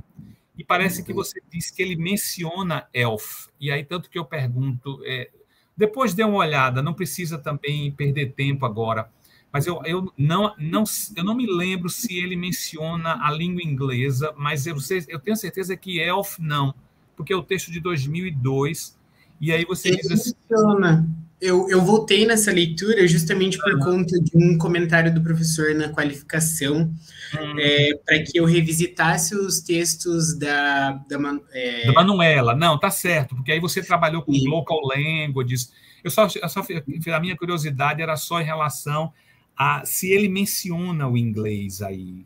Menciona, mas ele, menciona. Tem, ele entende a ideia como, é, pelo que eu entendi da argumentação, Sim. como um, um, sinônimo direto, e naquela época é uma noção compreensível, como é. uma noção, é um sinônimo direto de é, inglês como, como língua internacional. internacional. Ah, tá bom. Não, era ele só isso. Eu só, queria, eu só queria realmente, é, porque eu não me lembrava se ele mencionava o. o mas assim, mas eu, eu gostei muito de você ter revisitado isso, porque é, a questão de local languages, uh, que a professora Francesca mencionou também, né? É, a gente tem essa discussão, é, a questão do local localism e do local globalism. Eu acho que enriqueceu muito o trabalho e ficou muito bom. É, eu, eu não sei se é no acho que é no capítulo 3, mas você, me, você traz também, eu já estou quase terminando. Você traz também, é, como eu falei, dois aspectos que, que me interessam muito pela perspectiva fereriana, que é agência e social justice, né? porque a pedagogia crítica está ancorada em, so, em social justice. Então, é, de repente, nada, nada que desaprove o que você traz, mas de repente, quando, porque eu acho que a agência é, é, é super importante, e, por exemplo, a gente tem colegas como a, a Valkyria e tantos outros que trabalham muito com a, a, aquela tese de Denise, por exemplo, Landim, que fala que, que vem com a agência do professor. De repente, eu acho que valeria a pena você dar uma, uma reforçada no, no, na questão de agência. Social justice, eu acho que já é mais, já está mais, está melhor explorado, mas eu acho que agency poderia eh, receber um pouco mais de atenção mas apenas como um plus, né? Uhum. Então, é, o, o, eu acho que fecho aí o capítulo 3, né? No, nos dois capítulos finais, que aí eu vou juntar os dois, porque é, é, para não para a gente também não ficar. acho que Eduardo deve ter coisas bem interessantes para falar também. É, eu, eu, eu gostei muito, o que eu quero apenas ressaltar é que, é, em alguns momentos, se possível, eu entendo, ficou muito bom. É, eu entendo que em alguns, alguns momentos eu, eu indico para você é, o, o, o, a sua análise foi ofuscada pela, pelo, pelo, pela paráfrase. O que, uhum. é que eu uhum. quero dizer? é, você coloca em, em, em português e repete praticamente a mesma coisa em inglês. E lá embaixo já tem a tradução. Mas tem, tem eu indico na sua, no seu texto é, vários momentos que você não faz isso e faz muito bem. Então, você, ao invés de ser mais descritivo em certos aspectos, porque você basicamente repete o que a pessoa falou, é, eu acho que você poderia ser, revisar alguns e ser mais analítico, analisar, e propositivo, claro, e inferential, porque você faz boas inferências em alguns momentos. Mas tem alguns excertos que eu acho que é, eles são basicamente o início, antes, e tem muita paráfrase. Né? Hum.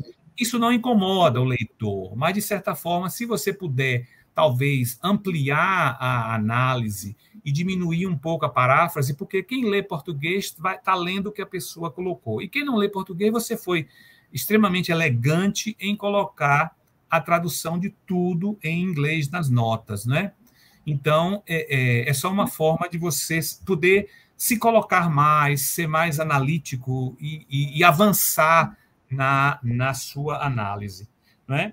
Uma outra coisa também que é diga. fazer um comentário sobre isso? Pode, não, é que daí isso, eu até ia brincar que o professor está em diálogo total com a Clarissa no WhatsApp ali, foi combinado, porque foi exatamente o comentário dela quando ela leu o capítulo. E eu tentei, de fato, suavizar isso em alguns momentos, mas é, não que por ter sido consciente que está certo, não estou dizendo isso, mas foi de fato um movimento consciente da minha parte de, em alguns momentos, trabalhar com uma descrição e em alguns outros focar mais mesmo nessa questão analítica é, e menos é. descritiva. Porque eu queria, de fato, é, que quando os meus é, subcapítulos fossem lidos, que eles fossem lidos como uma grande narrativa. Sim, é, sim. E em alguns momentos eu entendi justamente essa junção de algumas coisas, esse posicionamento, escolher colocar aquilo ali uhum. como uma, um, um movimento de análise também. Mas eu também entendo que tem alguns momentos que eu posso de fato revisitar, e agora eu acho que tendo descansado né, do texto um pouco mais, mais fácil também. Eu acho sim, que isso sim. é possível. Não, se você fez isso de forma consciente, e se for interessante você poder fazer essa, digamos assim, essa, essa limpeza, entre aspas, aí, uhum. é também, é claro que não não não invalida, mas e, e principalmente se você está me dizendo que fez de forma consciente, né? Mas eu senti isso como leitor. Então, assim, é, uma, é apenas uma, digamos, uma, uma possibilidade que a gente coloca, né? Então, é, mas eu, eu assim, eu, eu, gostei muito das análises, eu acho que as narrativas são extremamente pertinentes e quantos de nós nos, nos alinhamos e nos identificamos e quantos de nossos alunos têm essa mesma narrativa, esse, esse, passam por esse mesmo processo e eu acho que as, as conexões que você faz são muito bem elaboradas, não é? Então, é, eu, eu diria que, que assim, eu chamaria atenção apenas para essa questão, não é? Ah, tem uma, uma, um momento que você usa, ah, para mim está na página 114, que você usa a palavra violento, violent. E tem um momento também na página 126 que você usa less violent. Então, é, na página 114, eu colocaria esse violent, embora eu entenda o que você quer dizer, entre aspas, porque pode gerar algumas interpretações, né? A palavra violenta tem, a gente sabe, é, é extremamente uhum. polissêmica em vários aspectos. Então, na 114, eu colocaria em, em aspas. E na 126, quando você fala de um less violent ELT, eu diria que eu prefiro um non-violent ELT. né? A gente busca, é claro, você explicando o que, é que você está chamando de violência, e você faz isso, né? Então, é, a gente vai buscar não um less violent, mas a gente, a gente almeja, ao menos, ainda possa parecer utópico, né? Mas somos, somos da utopia, é, less violent ou, ou non-violent do que less violent, né? Então, uhum. assim, é, para terminar, eu não sei se eu, se eu extrapolei meu tempo, eu quero dizer que, assim, eu fiquei, mais uma vez, muito, muito uh, feliz, principalmente com esse capítulo 5, porque ele uh, é, são as considerações finais que não são considerações finais, muito pelo contrário, eles abrem espaço para, como eu já falei, para uma continuidade. Ah, e aí é, você. Aliás, eu esqueci de dizer uma coisa. Na, se for possível também, eu sugiro que na, na no final de cada sessão do, do, do 4 e na última sessão do 5, você possa resumir, você faz, você responde as suas perguntas, mas para aquele leitor menos familiarizado, aquele leitor menos, ah, digamos assim, atento, porque você dissemina as respostas, a resposta vem, vem disseminada. Se você pudesse sintetizar uma resposta para cada uma das perguntas, seria, eu sei que isso ah, não invalida de forma nenhuma o que você fez, mas eu estou pensando naquele colega, professor, que não tem tanta familiarização com leitura acadêmica, é, então, assim, se for possível, eu, eu, eu coloco isso também quando eu mandar para você. Se você puder sintetizar as quatro respostas para as quatro perguntas, num, num parágrafo, nada muito longo, né? Então, é, é, eu coloco aqui exatamente que você tem uma forma criativa de abordar as perguntas, e, e né, a partir do capítulo 3, do capítulo 4 e do capítulo 5, e o, para terminar, em relação ao ativismo, eu gostei muito, e você ah, já foi esperto em responder algumas coisas que eu iria, à medida que eu ia lendo, eu ia ah, me questionando sobre o, o, o, o, ativismo pedagógico. E eu vou e, eu, e assim você já foi assim trazendo alguns autores assim, olha esse esse pessoal vai perguntar, vai questionar, então deixa eu colocar logo aqui eu gostei muito, mas eu ainda acho que a gente precisa achar uma palavra melhor do que quiet activism. Uhum, uhum. Está bem explicado, não é passivo, etc. Mas eu, eu, eu não sei, eu, eu ainda tenho, como a gente diz aqui na Bahia, um ranço com essa palavra quiet.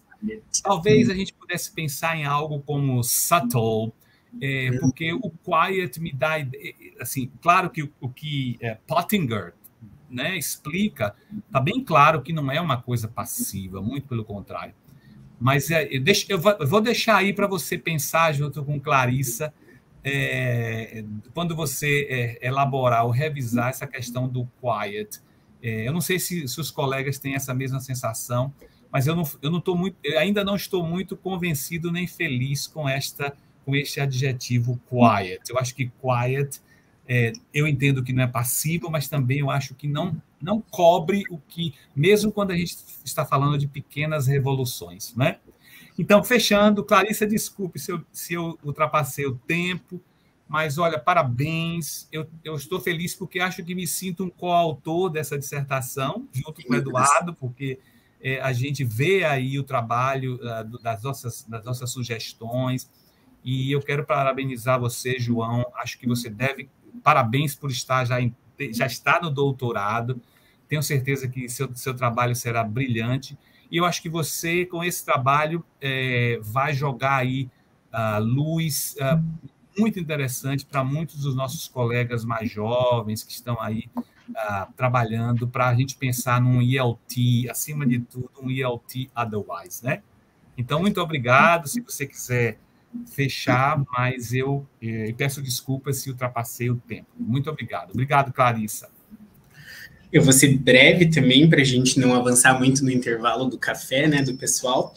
É, eu também não, não, sou um fã muito grande da palavra quiet, mas é, pensando justamente na intenção das autoras que trabalham com a questão dos implicit e quiet uhum. activisms, eu penso que é mais uma oposição à ideia de loud activism. Sim, eu acho que sim. talvez, mas aqui eu estou falando por mim, mas acredito que a Clarice talvez concorde comigo, que é, pensar nesse ativismo que talvez seja pouco para aquelas mentes mais fervorosas e que querem ações mais sim, rápidas e, e, impactantes, talvez de fato quiet isn't enough. Uhum. Mas eu tô tomando essas é, problematizações como um pontapé inicial, para pensar que existem outras formas de ativismo que não é standard, claro, não é aquilo claro, que vem claro. à mente primeiro. É, uhum. mas agradeço, professor, pelas contribuições ao longo da, da, da qualificação, é, ao longo de todo o processo, né? Já fui aluno do professor em curso, já tietei textos, e uhum. enfim, eu agradeço demais todos os aprendizados e comentários. E também queria dizer que é, você falou, ah, você respondeu algumas das minhas perguntas, a Clarice estava sempre dizendo, sabe, vai perguntar isso, sabe, vai perguntar aquilo. Então ela me ajudou muito pontos também. Tá vendo? Tá vendo? Olha aí. Mas você, você, vocês anteciparam bastante qualquer coisa que eu fosse perguntar. Então, parabéns. É isso, parabéns. É isso que dá a ser conhecido, né, Sábio? A gente já não vai é... respondendo antes de ter a pergunta. Mas está muito bom o trabalho. Parabéns, parabéns. Tá, muitíssimo obrigada, Sávio. A gente vai pensar na coisa do não violento quando realmente a discussão sobre nativo, não nativo, estiver superada, inclusive na academia, né? Sim, Aí talvez sim. fique violento. Eu tenho as minhas dúvidas que, uhum. de que essa discussão esteja superada na prática. Talvez na teoria, sim, mas sim, na prática, não.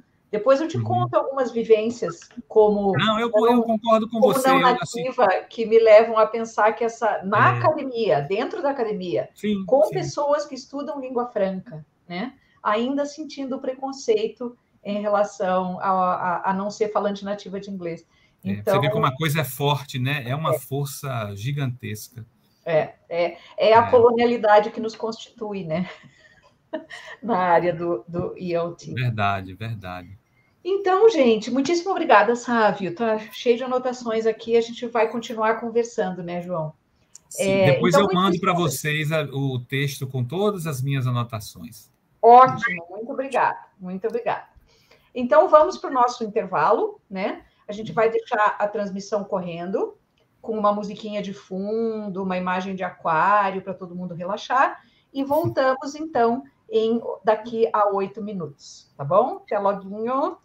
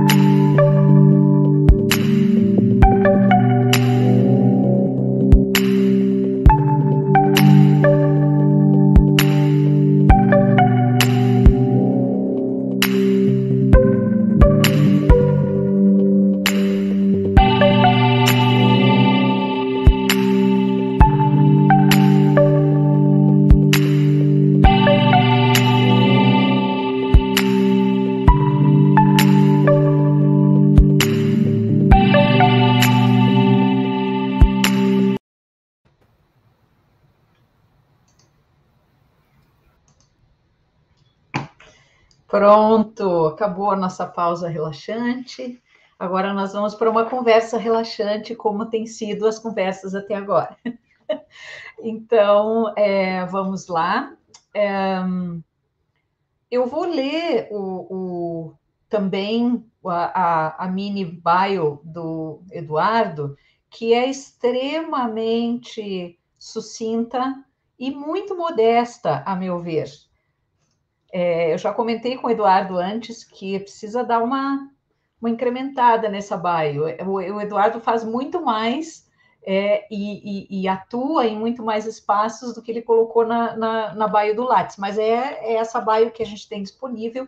Então, eu vou começar com essa apresentação brevíssima do trabalho do Eduardo. Então, o Eduardo é um colega nosso, professor da Universidade Federal do Paraná, ele atua tanto na graduação quanto na pós-graduação em letras. Ele é doutor em Linguística Aplicada pela Arizona State University, possui graduação em Letras pela Universidade Federal da Paraíba e mestrado em Letras Inglês e Literatura Correspondente pela Universidade Federal de Santa Catarina. Seus atuais interesses são nas áreas de inglês como língua global, linguagem e discurso, linguagem, mídia e educação, escrita acadêmica e linguística aplicada crítica, com ênfase em questões relacionadas ao uso ensino e aprendizagem de línguas adicionais. É, a gente conhece o Eduardo aqui de dentro e sabe que ele faz muito mais do que isso, mas tem que respeitar a modéstia do Eduardo e acabar lendo é, é, isso que está lá disponibilizado. Então, Eduardo, eu quero te agradecer é, pelas parcerias de sempre, né, pela tua disponibilidade em acompanhar o João em todas em todos os espaços, né, João, desde a tua graduação até agora, e já antecipar que tu vais continuar acompanhando ele, né, assim como a Francesca e o Sávio, durante o doutorado, não é isso, João? Então, muitíssimo obrigada, Eduardo. The floor is yours. E lá vou eu de volta aos bastidores. Até logo. Boa tarde, Clarissa. Boa tarde, João. Boa tarde a meus colegas de banca, Sávio e Francesca. Ah, eu que começo agradecendo, né? A gratidão é minha, né? É uma honra participar dessa banca, é um prazer participar dessa banca. Quero dizer que estou muito feliz de estar aqui com uh, todos e todas vocês e boa tarde a todo mundo que está nos comentários, né, que está no YouTube também, né?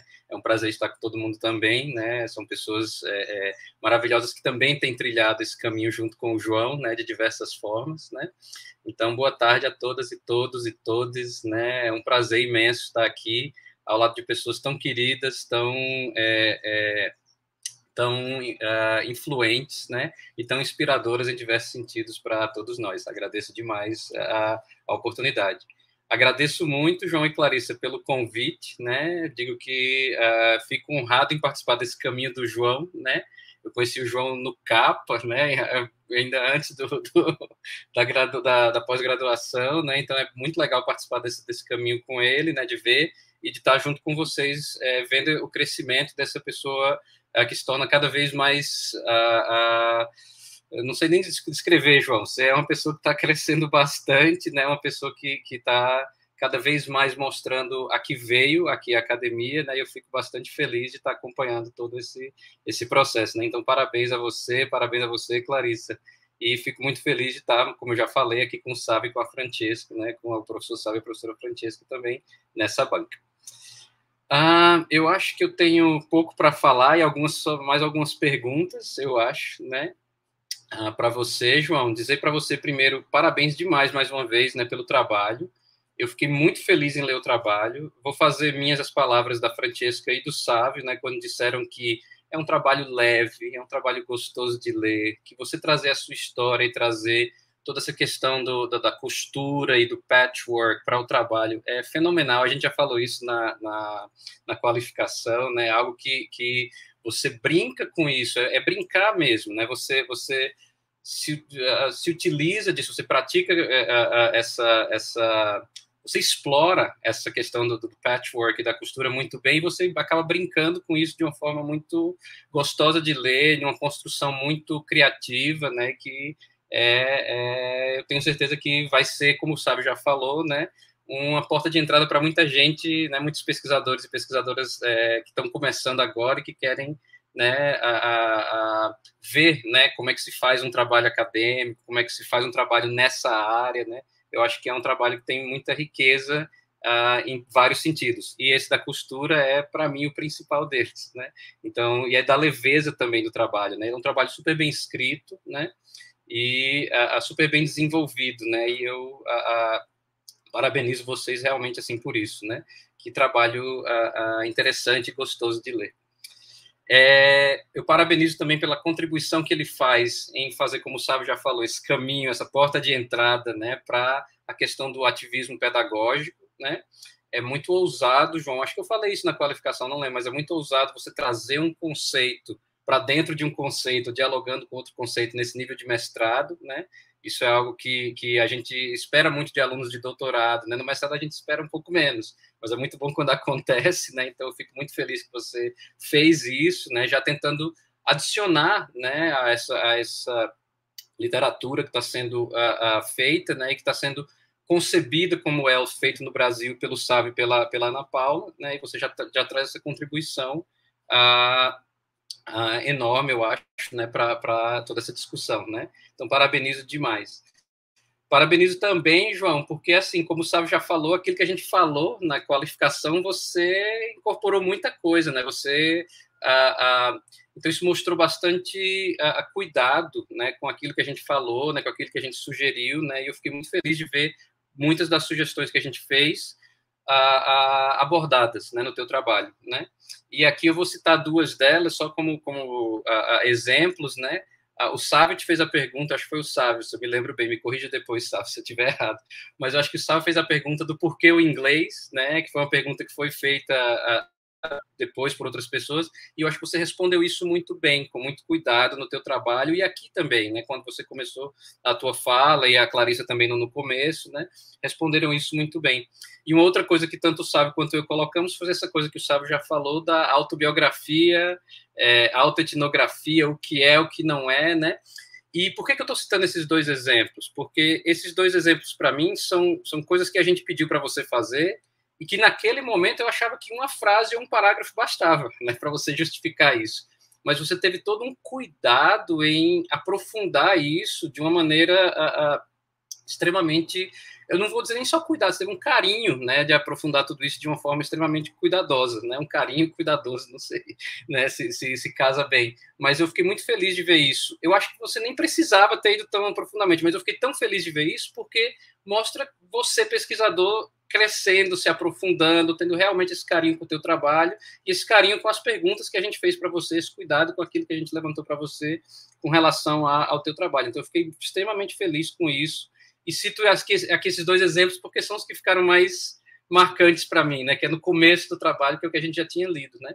E uh, uh, Uh, mas tem vários outros que aparecem aí também no teu trabalho, vários outros momentos de coisas que a gente falou e que você teve esse, esse cuidado e esse carinho em, em lidar com eles, né? E fico muito feliz, fiquei bastante feliz com isso. Fiquei bastante feliz também com o teu capítulo de resultados, né? Eu concordo com a, o comentário do Sávio da questão da paráfrase, né? E aí concordo com a Clarissa também, né? Mas assim, eu estava com eu tava com receio, a gente estava, não sei se você lembra, mas na qualificação a gente estava com receio dessa coisa imensa de, de, de, material empírico que você tem, como é que você ia fazer isso, né? Como é que você ia transformar isso em uma análise, né? A gente estava bastante uh, preocupado, talvez não seja a palavra, porque a gente confiava bastante em você, certamente, né? A gente, é, é, de forma correta, a gente confiava em você, mas a gente estava um pouco receoso, assim, de como é que isso ia ser feito, e eu acho que foi feito de uma forma extremamente ah, cuidadosa, de novo, né? E super conectada, né? E super, foi um patchwork realmente, e inclusive funcionou super bem com a metáfora que você trouxe, né? De fazer esse patchwork, foi realmente maravilhoso de ver como isso foi feito. Então, parabéns demais uh, pelo trabalho todo, né? Por todo o trabalho. Eu tenho quatro perguntas, João, para você. É só isso que eu tenho hoje, né? Assim, para mim o seu trabalho já está pronto, né? Como o Sábio já falou, ele eu, eu, concordo com as considerações do Sábio e da Francesca de coisas que você pode adicionar. Isso da paráfrase, por exemplo, é uma delas, né? Isso do quietness, eu não tinha pensado, mas eu concordo, né? Com esse quiet de não necessariamente você retirar a palavra, mas de problematizar essa palavra, como o Sábio colocou, né? Eu gostei muito de como o Sábio falou em subtle, né? E, é, e, talvez não quiet, né, de você talvez um pouco é, é, lidar com isso, né, Eu acho que tem essas coisinhas que você pode mexer, eu acho que são ah, bem interessantes. Eu tenho algumas perguntas que podem te levar a mexer em alguma coisa no trabalho, mas podem não também, né? Mais no sentido de contribuir e da gente discutir aqui algumas coisas que eu acho que são relevantes não só para o teu trabalho, mas para a área como um todo e para isso que a gente está discutindo sobre IELTS é feito no Brasil, é, é, a, a ELT Otherwise e, e várias outras questões, né? Uma é uma pergunta mais geral, João, né? Uma pergunta mais geral. Eu vou começar com ela. Eu não sei quanto tempo vai levar para você responder, mas talvez leve um pouquinho mais de tempo, né? Ah, mas a, as outras, eu talvez eu, eu faça como a, a, nossa querida colega Kíria Finardi, da Federal do Espírito Santo, fez na, na banca da Thaís Cons. Talvez eu jogue as três e você escolha algumas se não tiver tempo. Se não, eu faço as três, você responde as três, a gente vê como é que a gente faz, tá bom? Então vamos lá. A primeira pergunta que eu faço, João, não é exatamente sobre o teu trabalho, mas uhum. eu acho que você é uma pessoa que está em formação e que está lidando bastante com isso, é, sobre o qual eu vou falar, e que, por estar nesse momento de defesa de mestrado, né, talvez você tenha uma resposta, ou você possa contribuir né, com uma reflexão com relação a isso. Né? Há alguns meses, houve uma reunião que foi organizada pelas professoras Alessandra Fernandes e Ana Paula Beato Canato, é, envolvendo o NAP e o IFPR, né, o Instituto Federal do Paraná. E naquela reunião, a, a, o professor Anderson Marques, que você né, cita uh, no seu trabalho, né, trabalhos dele, e cita inclusive um, um momento de fala dele, né, ele colocou uma preocupação. O Anderson, ele também está inserido né, nos estudos de, de, de elfo feito no Brasil, né, desse, desse elfo que a, a, o Sávio e a, e a, Ana Paula Duboc, né, conceptualizaram como é feito no Brasil, né, e ele tem, ele tem se engajado com diversos questionamentos com relação a isso.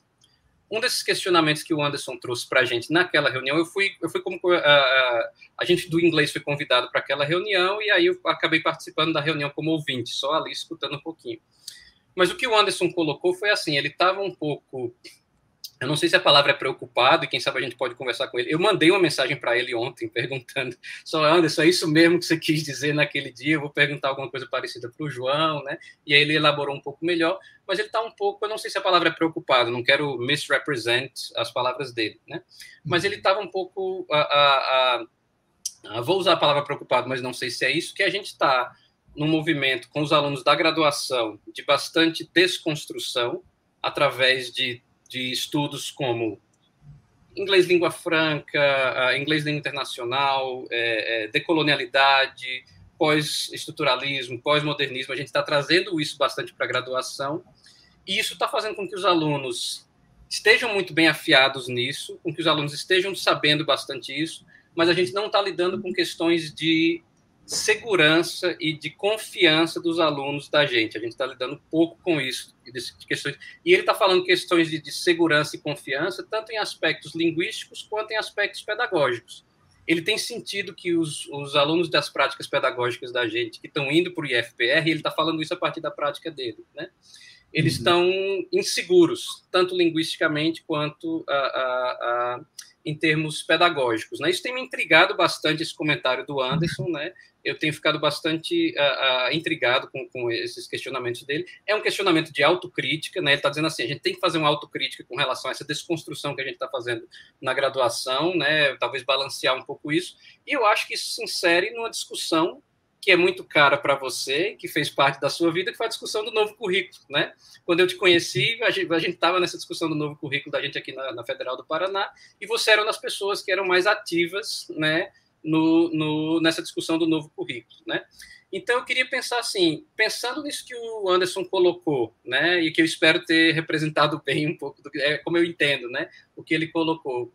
É, e, vo, e, pensando em você, nessa sua trajetória, como alguém que debateu o novo currículo, como alguém que está se formando mestre agora, né, nessa área, como alguém que está trazendo essa ideia de ativismo pedagógico para sua pesquisa de doutorado, né, alguém atuante como professor, o que você pensa disso e o que você acha que os estudos que, que a gente está fazendo podem contribuir para essa questão de segurança e de, de confiança dos professores que a gente está formando, né? Inclusive como recém-graduando, né? Faz dois anos, três, que você era graduando também, né? Uhum. Queria escutar um pouquinho, é, João. Que perguntão! É... Desculpa. Não, não, é, eu, eu achei excelente. Eu, eu adoro pensar sobre isso e aqui eu vou começar a falar e as coisas vão começar a vir, porque é de fato muita coisa que, que, que me vem à cabeça quando, quando você me faz essa pergunta. É, primeiramente, eu posso voltar à minha experiência como aluno. Então, a gente de fato tem várias discussões em sala de aula. Quando a gente chega lá, no meu, no meu caso eu era do currículo antigo, então quando a gente chega lá na língua 4, a gente começa a falar, né, sobre inglês como língua franca, sobre o mito do falante nativo, a gente começa a ficar mais atento para essas questões. Mas até a língua 4 é um caminho que a gente percorre. E ao longo desse caminho eu senti de fato, e agora eu estou falando eu como aluno, ao longo desse caminho eu me senti é, incapaz em alguns momentos, me senti despreparado. Eu senti que os meus colegas eram muito melhores do que eu no quesito conhecimento estrutural. Eu senti que a gente tinha, né, de fato, essa preocupação com a prática. Eu não lembro de uma aula em que um professor é, no curso de letras em inglês parou e me explicou, por exemplo, uma regra gramatical. Não teve uma aula. Mas eu tive várias aulas em que eu falei muito, em que eu escrevi muito, em que eu debati e que eu li, e isso foi extremamente importante. Eu vejo hoje, né, depois de muito tempo, muita caminhada, eu vejo o quanto isso é, é, me agregou. Mas aí quando você chega na língua 4, aí você tem essa desconstrução. Mas é um processo muito não linear, porque daí você vai para a sala de aula e você precisa saber dessas é, regras, estruturas, e você precisa de um conhecimento um pouco até mais técnico do que esse que a gente acaba aprendendo. E, e eu acho que isso vai muito. É, naquele momento eu não tinha essa consciência, mas eu precisava dessa experiência de sala de aula para ter que aprender essas coisas, para poder depois dar aula sobre essas coisas. Mas os primeiros semestres são de fato muito aterrorizantes, é um sentimento de insegurança constante, você tenta fugir das perguntas dos alunos, assim, às vezes, ou você tenta preparar coisas demais para sua aula, você faz aqueles planos de aula gigante para realmente não ter espaço vazio para te colocar em uma em um, em um local, né, de, de, de mais insegurança ainda. Então, eu acho que há sim uma falta. Eu identifiquei essa falta quando eu era aluno do, do currículo antigo, eu apontei essa falta no currículo novo, e só que eu acredito que é uma falta é, a Clarissa falou isso uma vez, eu acho que você me falou isso uma vez, e eu concordo demais com vocês. E hoje, tendo trilhado esse caminho né, na, na linguística aplicada, eu consigo ver isso com mais clareza. Mas um currículo não dá conta de tudo. E é muito difícil pensar que um dia o currículo irá dar conta de tudo. É muito utópico também. Porém, eu acho que envolve uma negociação de interesses, uma negociação de. É, investimentos, uma negociação de, é, de focos também e objetivos, tanto de professores quanto alunos. Eu, na minha visão, acredito que se priorizou investimentos ali do corpo docente na época e o corpo discente ficou mais em segundo plano. Acredito que o corpo docente tinha ali uma intenção por trás disso, mas eu vejo que é, essa, essa questão precisa ser um pouco mais negociada, precisa ser um pouco repensada, justamente pensando nesse, nessa questão prática de quando o aluno chega na sala de aula e precisa ensinar. E eu digo isso porque eu sou professor de língua inglesa, eu atuo em centros de idiomas, por quê? Porque a minha meta é ser professor da escola pública um dia, quem sabe professor da universidade, mas os concursos estão aí, né, inexistentes para entrar da aula na educação básica. Você faz o PSS lá e se sujeita. A, no caso dos professores de inglês, o PSS é muito difícil a realidade. Você tem que pegar aulas em muitas escolas, é, enfim, é uma realidade muito, muito, muito complicada. E a gente acaba indo para esses outros espaços em que a gente tem que negociar, né, com essas coisas que a gente acabou não aprendendo. Então, depois né, dessa longa introdução e pensando aqui com você sobre essas coisas, eu acredito que o inglês como língua franca, ao meu ver, né, ele acaba munindo os alunos para tentar se desconstruir cada vez mais dessa é, crença de que eles têm que saber tudo, de que um desvio estrutural vai afetar toda a comunicação, porque não vai. E eu acho que ajuda a aliviar essa sensação. E, e principalmente não só né, o inglês como língua franca, mas as discussões sobre colonialidade como um todo também. E, e, pensar que é muito colonial você achar que você vai esgotar os conhecimentos e que você vai chegar ao fundo das questões. É, ao mesmo tempo que eu acho que há de haver mais espaço no currículo para discussões mais focadas ali na prática real de sala de aula. E quando eu falo isso, eu falo até das optativas. Eu fiz uma optativa brilhante com a professora Alessandra na, na graduação. Acabei pegando o começo dela, precisei é, parar na metade, mas é, a gente falava sobre estrutura, mas a gente falava sobre prática de sala de aula com as estruturas. Então, eu acho que há, ali de, há de haver ali uma negociação né, dessas, dessas, dessas intenções, justamente para que a gente possa pegar essas discussões sobre inglês como língua franca e transformar elas, né, em transformar não. A gente possa aliar as duas coisas para pensar, né, nessa formação que talvez deixe as pessoas mais tranquilas. Mas aqui são talvez, eu não sei se é isso que vai resolver esse problema apontado. Eu estou vendo que o Anderson está comentando ali no chat, talvez. É, fortalecendo, criando estima para as práticas profissionais.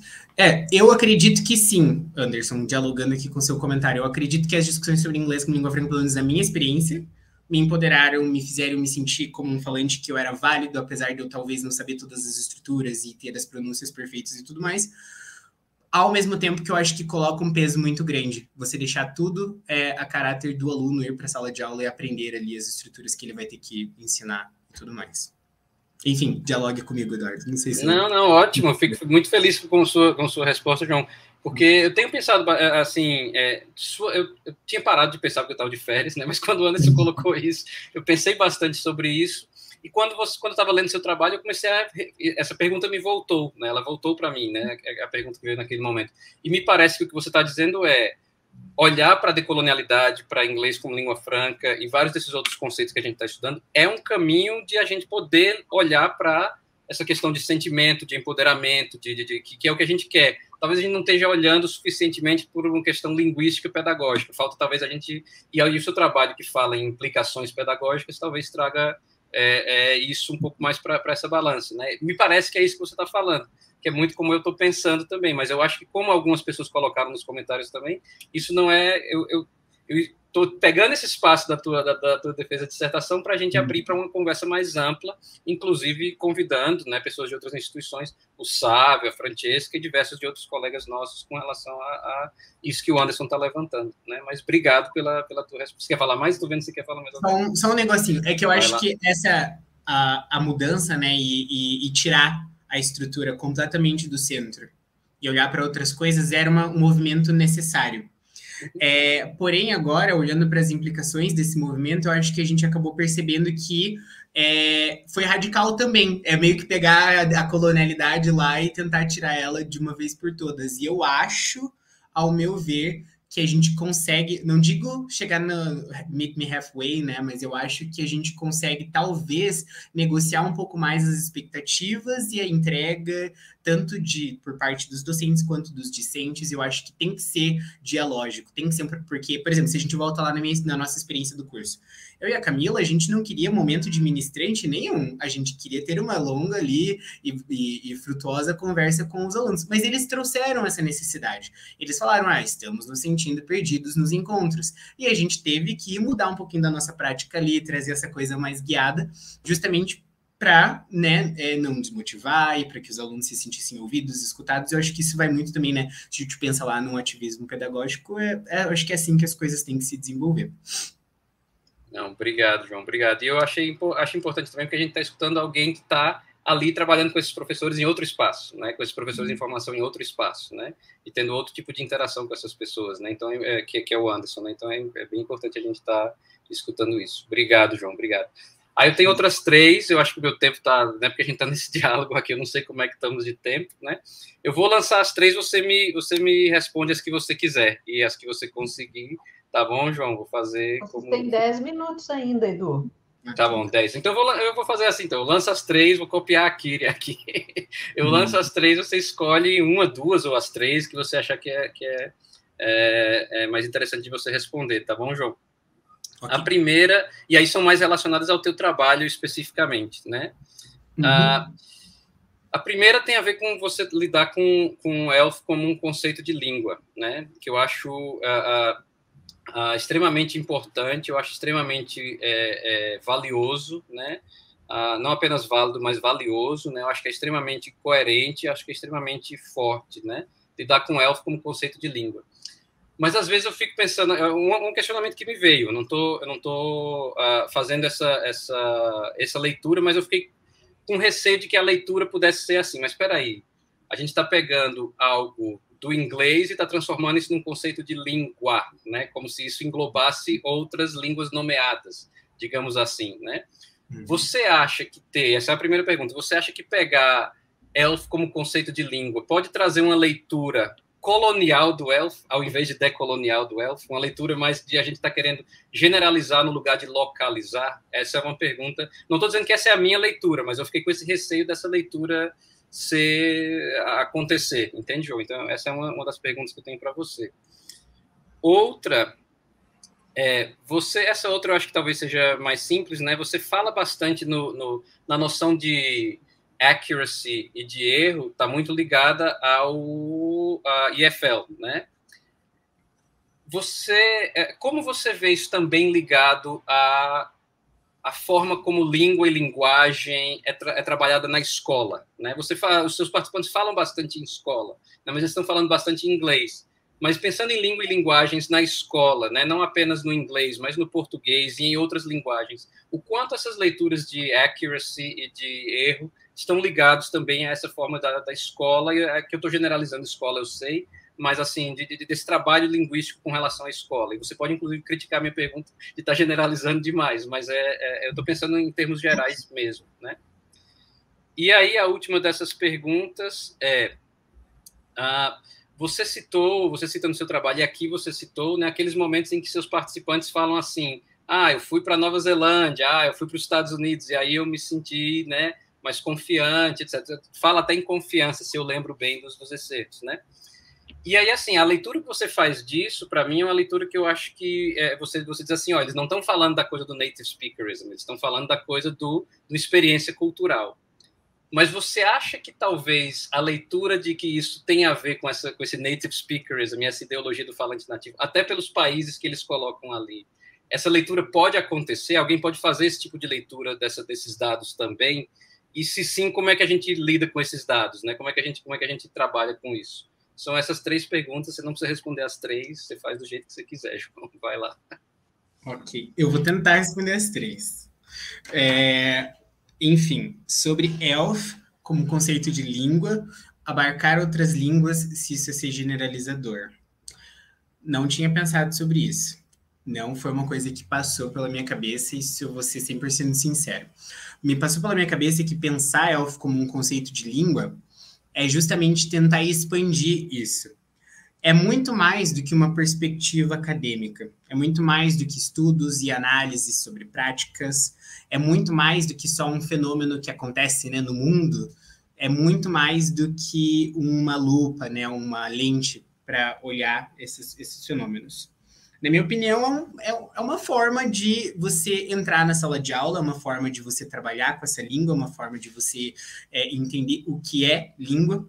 E daí, talvez, mas isso aqui eu tô pensando alto, né? Pensando assim, será que fazer aquela inversão do Canagaraja, do LF, uh, como é que ele faz? É, para ele não é ELF, é língua franca English, e talvez uma inversão assim para problematizar essa questão seja bastante interessante. Trabalhos futuros, não sei, né? Mas é, é realmente muito relevante pensar em não ser generalizador. É, mas, ao meu ver, pensar realmente o ELF como uma concepção de língua é justamente mostrar que é muito mais que acadêmico. Para mim, foi muito isso. E eu quis também mostrar que é muito mais do que achar que agora a gente vai descrever né, esses ingleses é, que acontecem ao redor do mundo e a gente vai falar só inglês porque é só isso que a gente precisa se comunicar. E eu sei que muitas vezes as problematizações sobre alfa, elas não querem dizer exatamente isso, mas me parece haver um ranço em relação a isso. E talvez daí eu acabe caindo nesse paradoxo, porque eu acabo centralizando demais a língua inglesa, entendendo isso como um conceito de língua. Mas eu acho que é um, é um caminho que dá para ser pensado. Eu, eu pensando assim que eu, eu precisaria é, debater isso um pouco mais, precisaria pensar nisso um pouco mais, em formas justamente de fugir disso, fugir disso não, de é, fazer me certificar de que isso está claro, de que é, o, alguns dos conceitos lá eu acho que de fato eles dialogam com outras línguas é, tais quais a noção de repertórios, a noção de é, negociação, que eu trabalho bastante, heteroglossia de Bakhtin. Então, acho que isso, de fato, ali a gente pode pensar. Eu acho que eu estou usando isso para mostrar que, olha, é entender ali o inglês como língua franca nas minhas práticas é ter isso aqui em mente. Então, acho que mostrar que é uma mescla, assim, sabe? Acho que é mais ou menos fazer o movimento que eu faço ali com autobiografia e autoetnografia, sabe? Não sei, pensando que é uma possibilidade. Mas Posso isso eu... falar um, Posso fazer um comentário? Eu acho ótimo essa resposta que você deu, João, e acho que se você, claro, como eu falei, você não precisa colocar nada disso no teu trabalho, mas se você quiser colocar isso no teu trabalho, você pode colocar dessa forma que você falou, inclusive fazendo um diálogo com aquele comentário do Sávio de concepção de, de, de, de ensino, Sim. de concepção pedagógica, né? E aí fazer esse entrelaçamento, trazendo isso, essa resposta que você colocou agora, entrelaçando com isso que o Sábio falou de, de concepção pedagógica, né? A ELF como concepção pedagógica, ELF feito no Brasil como concepção pedagógica. Acho que pode ser uma, uma, uma coisa legal de você estar tá fazendo o seu trabalho, se você tiver, se você e a Clarissa concordarem e estiverem, né, dispostos a isso, né? Mas não precisa, né? Como eu faço minhas palavras do Sábio, não precisa. Vai lá, João. É que eu acredito que responde muito o porquê eu adotei essa, essa perspectiva. E eu acho que em momento nenhum eu falar ah, o porquê eu tô fazendo isso, eu só falo o que eu faço. Então eu acho que é interessante sim pensar por esse lado. É, quanto à segunda pergunta, é, você né, é, pediu para que eu é, tecesse comentários sobre essa questão do accuracy, uh, precision e a questão né, da língua linguagem e como ela é trabalhada na sala de aula. Eu é, acho que eu deixo isso bem claro. As minhas experiências com a língua inglesa foram péssimas na escola. Eu, é, a minha única nota vermelha na minha vida até então foi na disciplina de inglês, da oitava série, 3.5, nunca vou esquecer. É, então eu meio que recalquei algumas das minhas experiências com a língua inglesa. Mas eu lembro muito bem das aulas de português e eu lembro dessa questão dos exercícios de preencher lacuna na aula de português, dos exercícios de conjugação de verbo na aula de português. E como havia pouquíssimo espaço para discussão sobre gêneros, apesar de que eu já era da geração em que essa discussão ela era muito relevante. Então eu fico pensando que essa ideia de língua como código ainda era muito forte. E ela continuou forte no vestibular, por exemplo. Quando eu fui para o cursinho, eu é, não tive aula em momento nenhum de ler textos e interpretá-los. Eram aulas de gramática, e aí as questões a gente resolvia em casa. É, as questões a gente resolvia nos simulados e tudo mais. Então, eu acredito ainda que essa noção né, de língua enquanto código era muito forte ali, presente em toda a minha educação.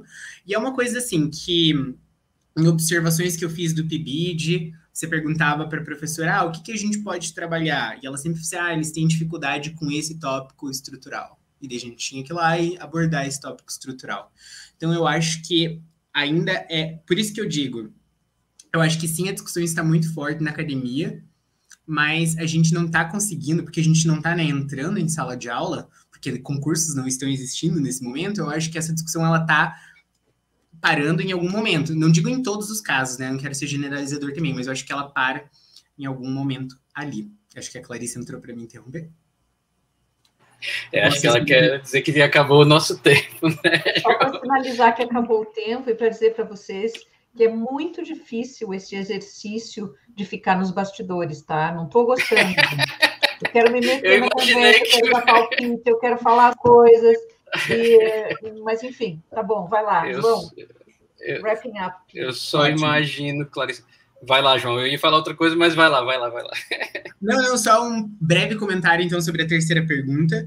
Eu acredito que sim, foi uma coisa que eu pensei depois, revisitando o texto e olhando para essas narrativas e falando assim, ai, talvez eu forcei uma leitura aqui. Não digo forcei, porque é uma leitura possível, mas ao meu ver, olhando para as descrições que elas faziam ali no curso, para como essa narrativa foi construída, né, me pareceu que elas é, olhavam para essa experiência muito como é, conhecimento de mundo, sabe? É, como eu fui conhecer outra realidade. Eu aqui nesse meu local, é, dessa minha cidade ali, né? No caso de uma das autoras, uma cidade de interior, ela tinha pouquíssimo acesso a essas discussões. Ela foi para um lugar, né? Completamente cosmopolita e ela entrou em contato com diversas outras culturas. Eu achei que teve uma uma evidência maior nesse aspecto cultural do que de fato ali a proficiência e estar em contato né, com falantes nativos do idioma.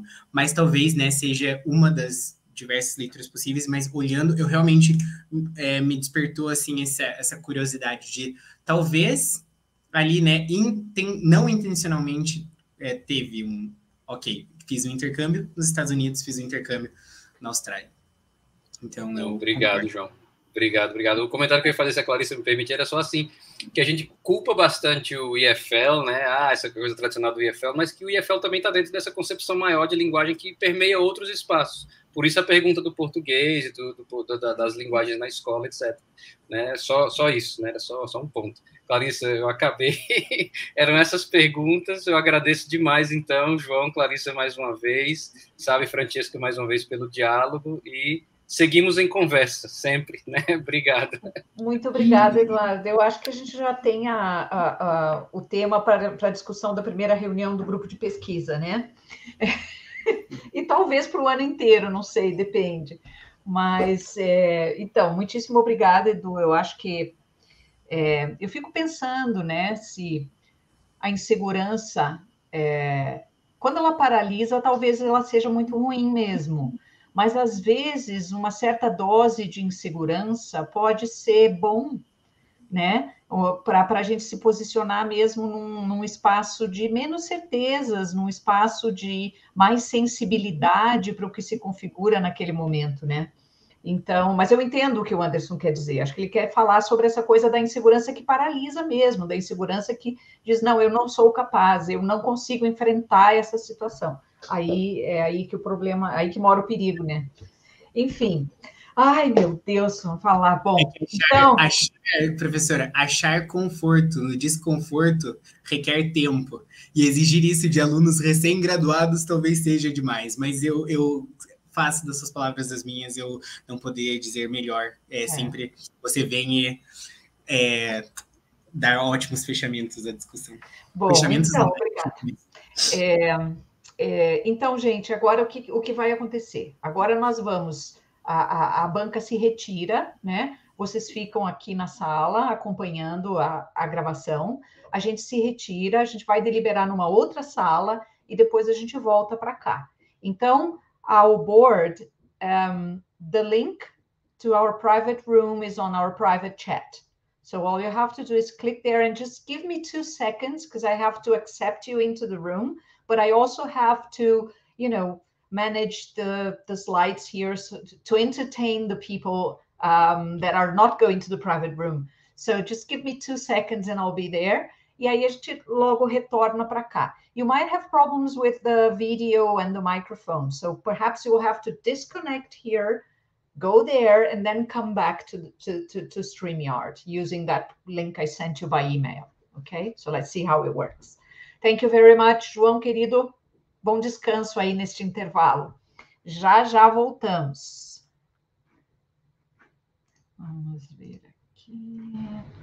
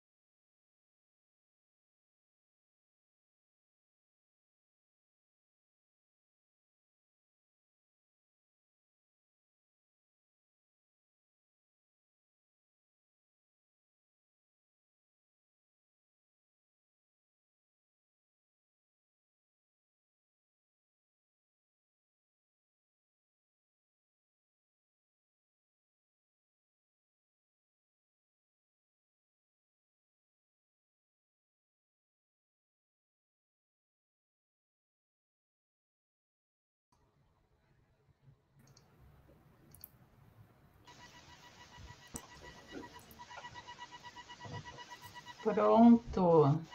Here we are. Here we are. Voltamos, viu que nem demorou muito. Então, agora a gente vem com o resultado final e a leitura da ata. Então, antes da leitura da ata, eu só queria dizer, João, que tem sido um grande privilégio trabalhar contigo, conversar contigo. A gente estava lembrando e comentando lá com o Sávio e com a Francesca, eu e o Eduardo, que a gente teve uma, uma relação mais próxima contigo a partir do teu último ano da graduação, lembra? Quando a gente estava discutindo a reforma do curso de letras e como é, eu, particularmente, percebo uma mudança muito grande na tua orientação acadêmica, né? Tu vens de uma tradição, tá, lá na graduação, na iniciação científica, né? Uma tradição mais conservadora, digamos assim, né? De fazer pesquisa. É, eu lembro quando tu entraste no mestrado, é, a tua surpresa quando eu disse escreve em primeira pessoa, lembra? Como assim? Eu estou fazendo ciência, não posso escrever em primeira pessoa. Uhum. É, e desse, de, desse tipo de coisa, até escrever um, uma dissertação, fazer uma pesquisa inteira baseada em narrativa, é uma mudança muito grande, né? E não é uma mudança desinformada, uma mudança aloprada, é uma mudança consciente, é uma mudança madura, uma mudança pensada, né? Então, isso nos impressiona muito, enquanto pesquisadores mais experientes, né, de ver esse tipo de mudança com essa qualidade num tempo tão pequeno, né? É, e assim, acho que é notável para todo mundo que participou e que assistiu é, a, a, a, tua defesa, o, o teu entusiasmo, né? a tua empolgação, o teu comprometimento com a profissão de professor, com a, a, as questões, desculpa, sabe, de violência relacionadas ao trabalho com língua inglesa, né, ao trabalho mesmo da, da, da, da própria academia, que tem sido violenta né, em relação a outras formas de, de pensar, em relação às uhum. diferenças. Então, assim, João, muitíssimo obrigada por continuar com a gente, né? Continuar aqui no programa, continuar no doutorado, continuar com a mesma orientadora, porque olha, eu acho que isso, isso é um grande elogio. É, Estou lisonjeadíssima, porque são mais quatro anos, né, João? Vão, ser, vão ter sido seis. Então, desde aquele momento que eu te resgatei, meio resgatei lá no corredor da universidade, né? Até agora e até o doutorado, lá se vai uma, uma boa parte das nossas vidas. Então, eu quero te agradecer muito por isso, quero te parabenizar também, né? Pela tua hum, diletância, sei lá, essa palavra nem ninguém mais sabe o que significa, mas enfim, é, é, eu quero te parabenizar pela, pela, pelo comprometimento mesmo com a pesquisa, né? Com de ter continuado e ter feito questão de continuar nesses dois anos, apesar de todas as dificuldades, de todas as mudanças de percurso que tiveram de acontecer, né? Então, parabéns. Eu acho que o resultado vai ser uma surpresa. Então, eu vou ler a ata de, é, bem devagar, que é para as pessoas não se surpreenderem assim muito, uh, né? E aí, depois da leitura da ata, João, eu te dou um tempinho se tu quiseres falar alguma coisa, tá? Pode ser? É, vejam, o dia, a, quando a gente escolheu a data, foi muito mais por conveniência do que por olharmos para como a data se configuraria. Hoje é o dia 22 de fevereiro de 2022 e a gente começou o trabalho às duas horas. Dia 22 de fevereiro de 2022 pode ser lido, vai ser palíndromo. lido do mesmo jeito, né? Eu não sei como é que chama isso. É um palíndromo. Palíndromo. Vai ser lido de, da esquerda para a direita ou da direita para a esquerda uhum. da mesma maneira. Então, é um dia especial mesmo, João. Então vamos lá, leitura da. Chega de ado. Without much ado, vamos à leitura da. No dia 22 de fevereiro de 2022, às 14 horas, na sala virtual, foram instaladas as atividades pertinentes ao rito de defesa de dissertação do mestrando João Vitor Schmitschek, intitulada Weaving Elf Feito no Brasil and Autobiographical Narratives in Teacher Education, sob orientação da professora doutora Clarissa Menezes Jordão. A banca examinadora, designada pelo colegiado do Programa de Pós-Graduação em Letras da Universidade Federal do Paraná, foi constituída pelos seguintes membros: Clarissa Menezes Jordão, Francesca Helm, da Universidade Studi di Padova, Eduardo Henrique Diniz de Figueiredo, da Universidade Federal do Paraná, e Domingos Flávio Pimentel Siqueira, da Universidade Federal da Bahia. A presidência iniciou os ritos definidos pelo colegiado do programa e, após exarados os pareceres dos membros do comitê examinador e da respectiva contra-argumentação, ocorreu a leitura do parecer final da banca examinadora, que decidiu pela aprovação. Esse resultado deverá ser homologado pelo colegiado do programa mediante o atendimento de todas as indicações e correções solicitadas pela banca, dentro dos prazos regimentais definidos pelo programa. A outorga de título de mestre está condicionada ao atendimento de todos os requisitos e prazos determinados no regimento do programa de pós-graduação. Nada mais havendo a tratar, a presidência deu por encerrada a sessão, da qual eu, lavrei a presente ata, que vai assinada por mim e pelos demais membros da comissão examinadora. Parabéns, João. Parabéns. Sinta-se é... abraçado virtualmente, tá? É. Sim, estou me sentindo muito abraçado por vocês, pela banca, né, pela professora Clarissa, por quem está no chat. Não posso deixar de usar esse momento para agradecer a minha família, que independente de qualquer dificuldade, garantiu que eu estivesse aqui hoje. Não posso deixar de agradecer aos meus colegas, as minhas colegas, Camila, que esteve presente comigo bem próximo ao longo da pesquisa. É, enfim, da onde eu venho, ter essa narrativa é uma coisa muito rara e eu espero ser né, um dos muitos que podem dizer que vieram lá da escola pública que nem sabiam o que era vestibular e que hoje, né, terminam aí um mestrado e começam um doutorado. Então, muito obrigado a todos, muito obrigado aos governos que vieram anteriormente e providenciaram as políticas públicas necessárias para que eu estivesse aqui. Muito obrigado a quem trilhou o caminho comigo. É isso. Muito obrigada, João. Não vai embora ainda que a gente tem que tirar aquela foto depois. É, tá? vamos tirar a foto. Vamos tirar aquela foto depois. Muito obrigada a todos, todas e todes que uhum. ficaram aqui conosco, que estão assistindo. Tem a gente aí até Valquíria, viu? Olha só, nós tivemos um público seleto aqui. Muita gente bacana aí, viu? João, Muito você obrigada coisa... a presença de todos.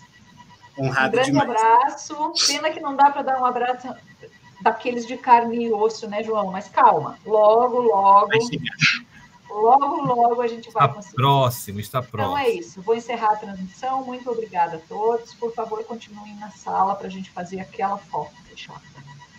Tchau, tchau. Muito obrigada. Tchau, boa noite. Obrigada.